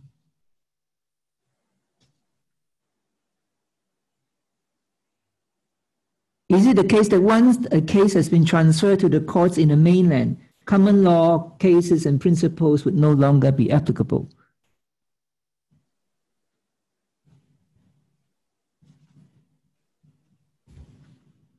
Okay, um, I think probably because of time limits, uh, I will. Uh, I will. This is the end of the second batch of questions. If anybody has any pressing question, you're welcome to type the question now, so that maybe I can allow uh, two or three other questions, uh, which I type in from this moment onward. So now I'll invite the four speakers to respond to the questions. Yes, they are guests too. Who? Albert, uh, uh, uh, I voluntarily take the uh, first question, uh, the sort of police Thank you. power, uh, you know, extraterritorially. Uh, uh, uh, from international perspective, you know, uh, you were talking about the enforcement jurisdiction. Enforcement jurisdiction, as well established under international, must be, you know, uh, territorial. Uh, in, other words, police cannot exercise its power uh, extraterritorially unless uh, uh, they uh, got the permits of the state concerned. This is, as I said, firmly established principle of international. Otherwise, you know, uh, uh, uh, that's a violation of international. Uh, uh, so this is a, uh, my uh, uh, very quick answer to uh, the first question. Thank you. Uh, Rosalind, uh, do you have any comments? Yes. Uh, let me just address a few questions here. If someone goes to Hong Kong airport for transfer to another flight, will that person be in danger of being arrested for violation of national security law in his or her own country? Uh, I don't think, I I don't want to appear or sound alarmist. Uh, obviously, the answer to that question is yes, you are in danger. But I think we have just uh, seen uh, that uh, the mainland uh, criminal law, the similar extraterritorial provision, actually has not been applied very extensively, only in a small number of cases. Uh, and probably in cases involving things like terrorism and drug smuggling and that kind of thing. So uh, realistically, I don't believe that the extraterritorial application of this Hong Kong law to foreigners outside Hong Kong would actually happen uh, in too many cases. Uh, I would bet that it would actually be a small number of cases, probably involving serious uh, uh circumstances. Uh, but the legal risk is there. Uh, so I think there's another question about international students. Well, international students coming to Hong Kong obviously will need to uh, have some knowledge about Hong Kong law uh, in advance. Uh, and there's always a risk that the authorities may hold you responsible for your conduct violating those local laws. Uh, the question about companies, I think, is very interesting. Uh, the uh, I think Article 38 uh, talks about uh, persons who are not permanent residents. So I think it is open to argument that Article 38 only applies to natural persons and does not apply to companies. Obviously, uh, if you are a company, uh, a company does not have uh, Hong Kong permanent uh, residence. So the way Article 38 is formulated, I think opens up the possibility to argue in a court of law that it is meant to apply only to natural persons. Uh, so I think the argument uh, is there. Now, whether uh, a Hong Kong court will buy that in a future uh, case, I don't know, but, but I think certainly it is arguable. If a company in the United States is required to impose sanctions or to carry out sanctions against uh, China or Hong Kong, uh, would that company also be violating the national security law of, of Hong Kong? Uh, I think that, that's another classical uh, question uh, in those cases regarding conflict of jurisdiction.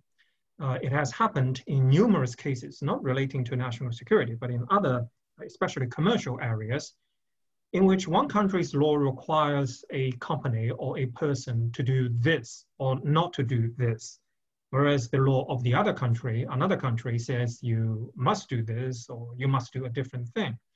which of course uh, lands that particular person in a dilemma, in a, in a very difficult uh, uh situation. Uh, some countries, especially United States courts, uh, have a so-called foreign sovereign compulsion doctrine, which essentially says that you are not going to apply an extraterritorial law if it is against the legal obligation under the territorial law, under the local law. So in other words, territorial law, local law should prevail over the requirement of an extraterritorial law. Uh, that is one way to solving uh, this type of jurisdictional conflicts, and some countries follow that. Uh, I don't think this is part of the Hong Kong law. Uh, how would Hong Kong court deal with uh, these questions? I think still remains to be seen. I think I'll stop here. Thank you. Thank you. Uh, Des Ling or Peter? Uh, right. Um, just a quick answer to a few questions. First, I don't think the police power can be extended outside of uh, Hong Kong. So that has, to go through the mutual legal assistance uh, through criminal matters. Um, complying uh, with U.S. law, um, the, the sanction against Hong Kong, China itself is not offense. I think the offense is to requesting and making it possible, uh, lobbying for sanction. That is that's that's action. Um, uh, is the offense, and passively following the U.S. law, any other law will not be an offense under under the national security law. Um, the national jurisdiction, uh, Article 55, the two questions. One is whether there will be extradition uh, once national jurisdiction is triggered. And actually, uh, once you have Article 55 jurisdiction, there will be no boundary and there's no need for extradition. Basically, uh, um, uh, this what I will call this because it's a national jurisdiction, right? Uh, at that moment, then you don't really have this boundary uh, between mainland and Hong Kong as far as criminal jurisdiction is concerned. Uh, will the common law apply? Of course not. Um, it's a national jurisdiction, uh, Chinese procedure law would apply. Uh, the Hong Kong, basically, uh, Hong Kong law on that matter. Once 55 jurisdiction is triggered, the Hong Kong law stops to uh, operate. It's the Chinese national national law takes it over. That's that is why it is called national jurisdiction. Um, foreign students coming to Hong Kong, well, um, will be treated the same way as Hong Kong students in Hong Kong. Um, I, th- I think I just want to uh, emphasize. We look at the the offenses, right? The offenses is um, organizing, uh, planning, implementing, participating in those activities.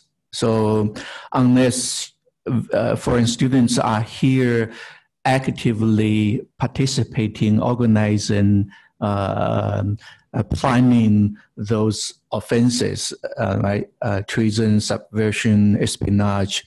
Um, I don't think uh, coming here to study per se, right, uh, would would would have any risk. That is the same. That's the exactly the same thing we've been uh, uh, telling our own students the law does have a boundary. I think uh, the purpose of the discussion is through the discussion we could uh, somehow clarify the boundary, reinforcing the boundary so that we know better uh, where the line actually is. Uh, but as long as we stay with away from the four verbs, right? Uh, then I think we could say some um, uh, uh, boundary and the, the line between criminal offenses under the law and the regular teaching and learning in the university. Thank you. Yes, Peter has one. Yeah, um, I, I want to say, uh, um, uh, well, as the first is actually a question to Hualing. about, um, let's say, American company here, let's say he uh, helps to impose sanctions under the instructions of uh, the United States. So, uh, have I understood you correctly? Hualing, you said that that would be a crime under the national security law? No. But uh, however, under Article 29, it says that uh, a person who receives instructions from a foreign country uh, to commit any of the following acts, including the imposition of sanctions, shall be guilty of an offense. So uh, I'm, I'm not sure because this law has not been applied yet. So I'm really not sure how it would be implemented in practice.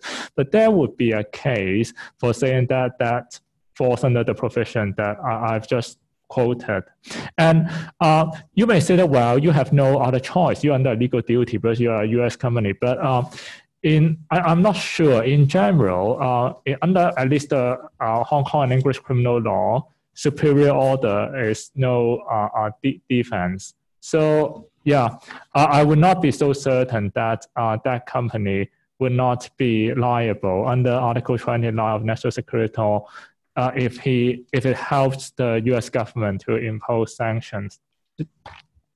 Uh, the second thing is about the foreign students. Yeah, I, I first of all, of course, I agree with Hualing that um, well, uh, if he stays away from from those four kinds of activities, then well, he will not be caught under national security law. And um, however, one thing that the extra thing that he should bear in mind in light of the extraterritoriality is that well. Um, so of course, if it comes to Hong Kong, he should abide with the law of Hong Kong, no question about it. That would be so regardless of whether there's a national security law. But the importance of national security law, as we have mentioned, the extraterritorial reach means that, well, he should be like, if he committed some acts, even outside Hong Kong, okay, before he comes here, okay, then, well, uh, theoretically, it could be caught under national security law as well. And that's something that might be worth bearing in mind. Thank you. Um, I think that one quick point. Sorry, Albert. Can I just make one quick point about uh, the point that uh, Professor Chau and uh, Hualing both mentioned, which is about company. I think Hualing says under Article 29, it is asking a foreign country or a foreign entity to impose sanctions that is criminal.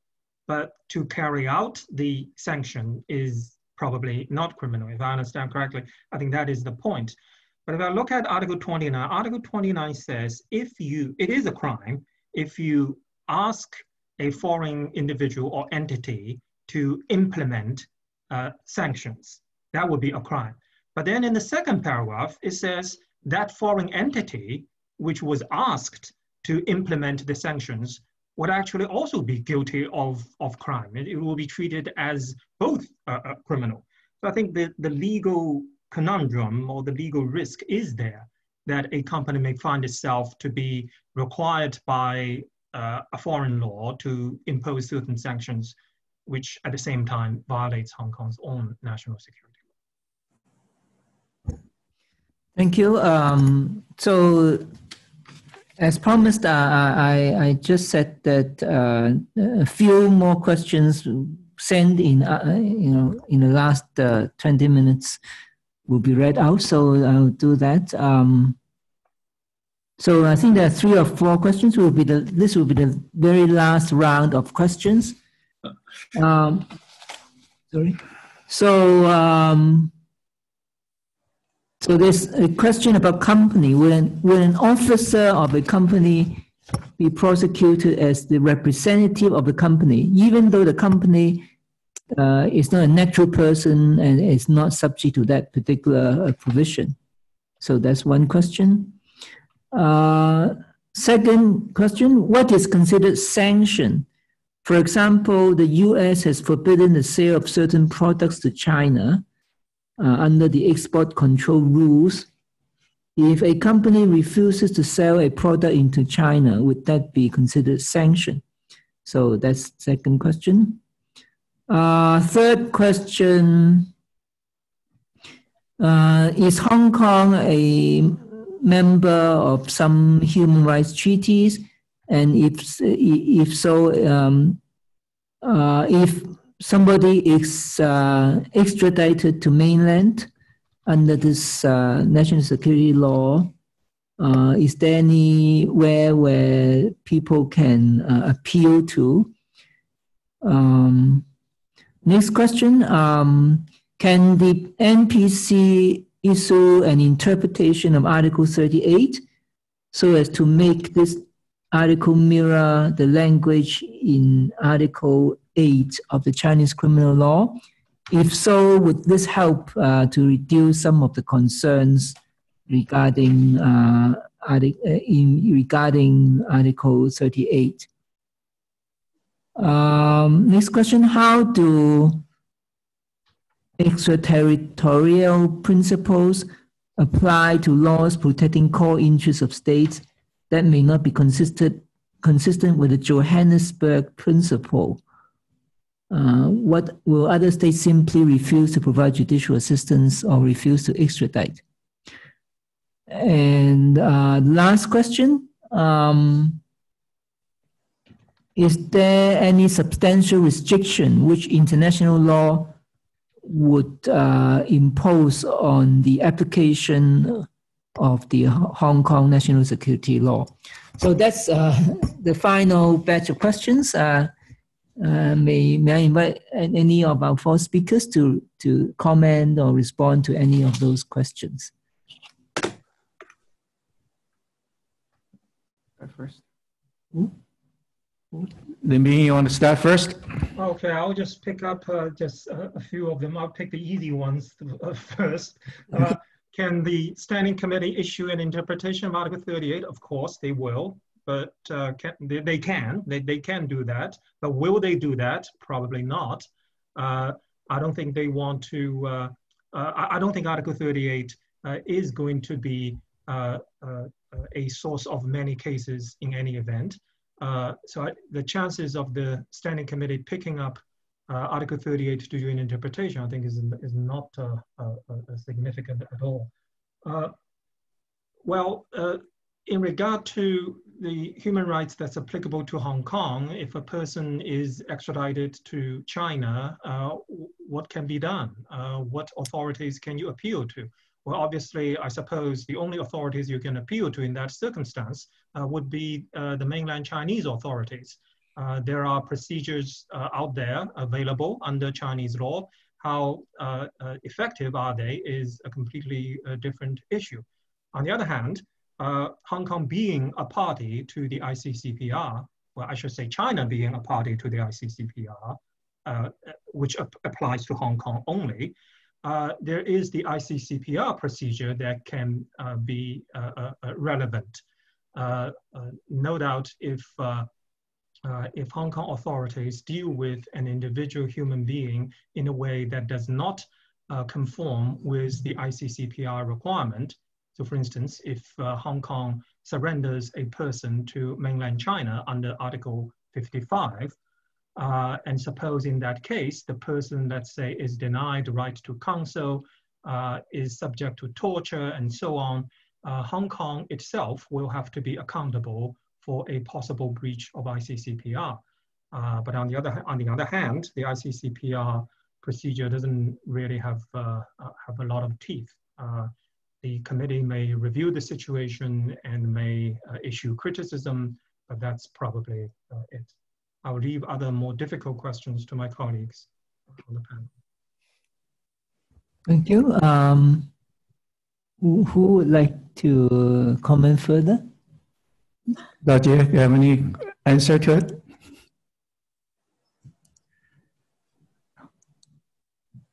Okay. All right. Maybe yourself? Uh, um, I think the, on, on, the corporate, uh, the liability, you know, whether the officer will be, uh, uh, which one will be responsible. I think there is uh, there's a, a, base question, which is uh, what law will be applicable if that happens, right? Uh, so I think we will have to first decide in determining, in answering the question, should we looking for answer within the Chinese criminal law because uh, after all, this is national law, or should we looking for answer in, in Hong Kong criminal law? Right? But my understanding is in either uh, circumstances, the answer is yes. Uh, you, uh, there's the uh, the companies, their officers behind will be uh, made responsible. I think I, I don't think there's any doubt on that question. There's a larger question about China uh, international cooperation, extradition. Um, since the anti-corruption um, campaigns, which started six years ago, right, China has been say mobilizing itself, try to get say the uh, uh, corrupt officials, S, uh, SOE bosses back to China to face criminal trial. Right, uh, we heard this, uh, you know, the red alert, 100 officials. By now, I think over probably 80 of them uh, have been sort of returned to, to China to face trial. If you look at that practice, I think the Chinese experience is, is that international cooperation actually is not really useful. Um, the either China doesn't have treaties with the major powers, right? Australia, Canada, and uh, uh, the major U.S. Uh, and most of the European countries, and if even there is a treaty and uh, uh, all the, uh, the countries willing to extradite, the process is just so lengthy, uh, uh, make it probably irrelevant. Um, so what has happened, I think, in the mind of decision makers, probably China probably would do well without any international cooperation. If that's the case, so why bother? Right? what's the point? If you terminate certain treaties, that's fine. If you don't uh, cooperate, that's fine. There's always, it seems to me, alternative ways to achieve the Chinese agenda. Um, so, so that is not a question we'll have to think about, right? You have to make the, the international platform, the rules, procedures relevant to China if China feels they are, they are, they are not really useful, they are not even relevant, then there's a possibility China probably say, okay, we'll, we'll just do it our own way. If you look at all the official coming to, to return to China for trial, uh, probably it's less than 5% return to China through formal uh, uh, uh legal channels or through uh, international corporations. Most of them are simply done uh, typical Chinese ways. Um, do any of the speakers have any further comments before we bring this seminar to a close? Okay, I, uh, Albert, I, I'd oh, like to address yes. Question whether international imposes you know, uh, uh, restrictions on the application of uh, the Hong Kong national security law. Uh, of course, you know, uh, uh, uh actually, you know, uh, as a matter of fact, you know, international, even though you know lacks very precise and very detailed rules in terms of the scope and the limits of extraterritorial, you know, application of the law. But you know, we said, you know, it's well established that you know um, uh, the, uh, uh, uh, uh the, the the the sort of you know uh, jurisdiction must be exercised in a manner that um,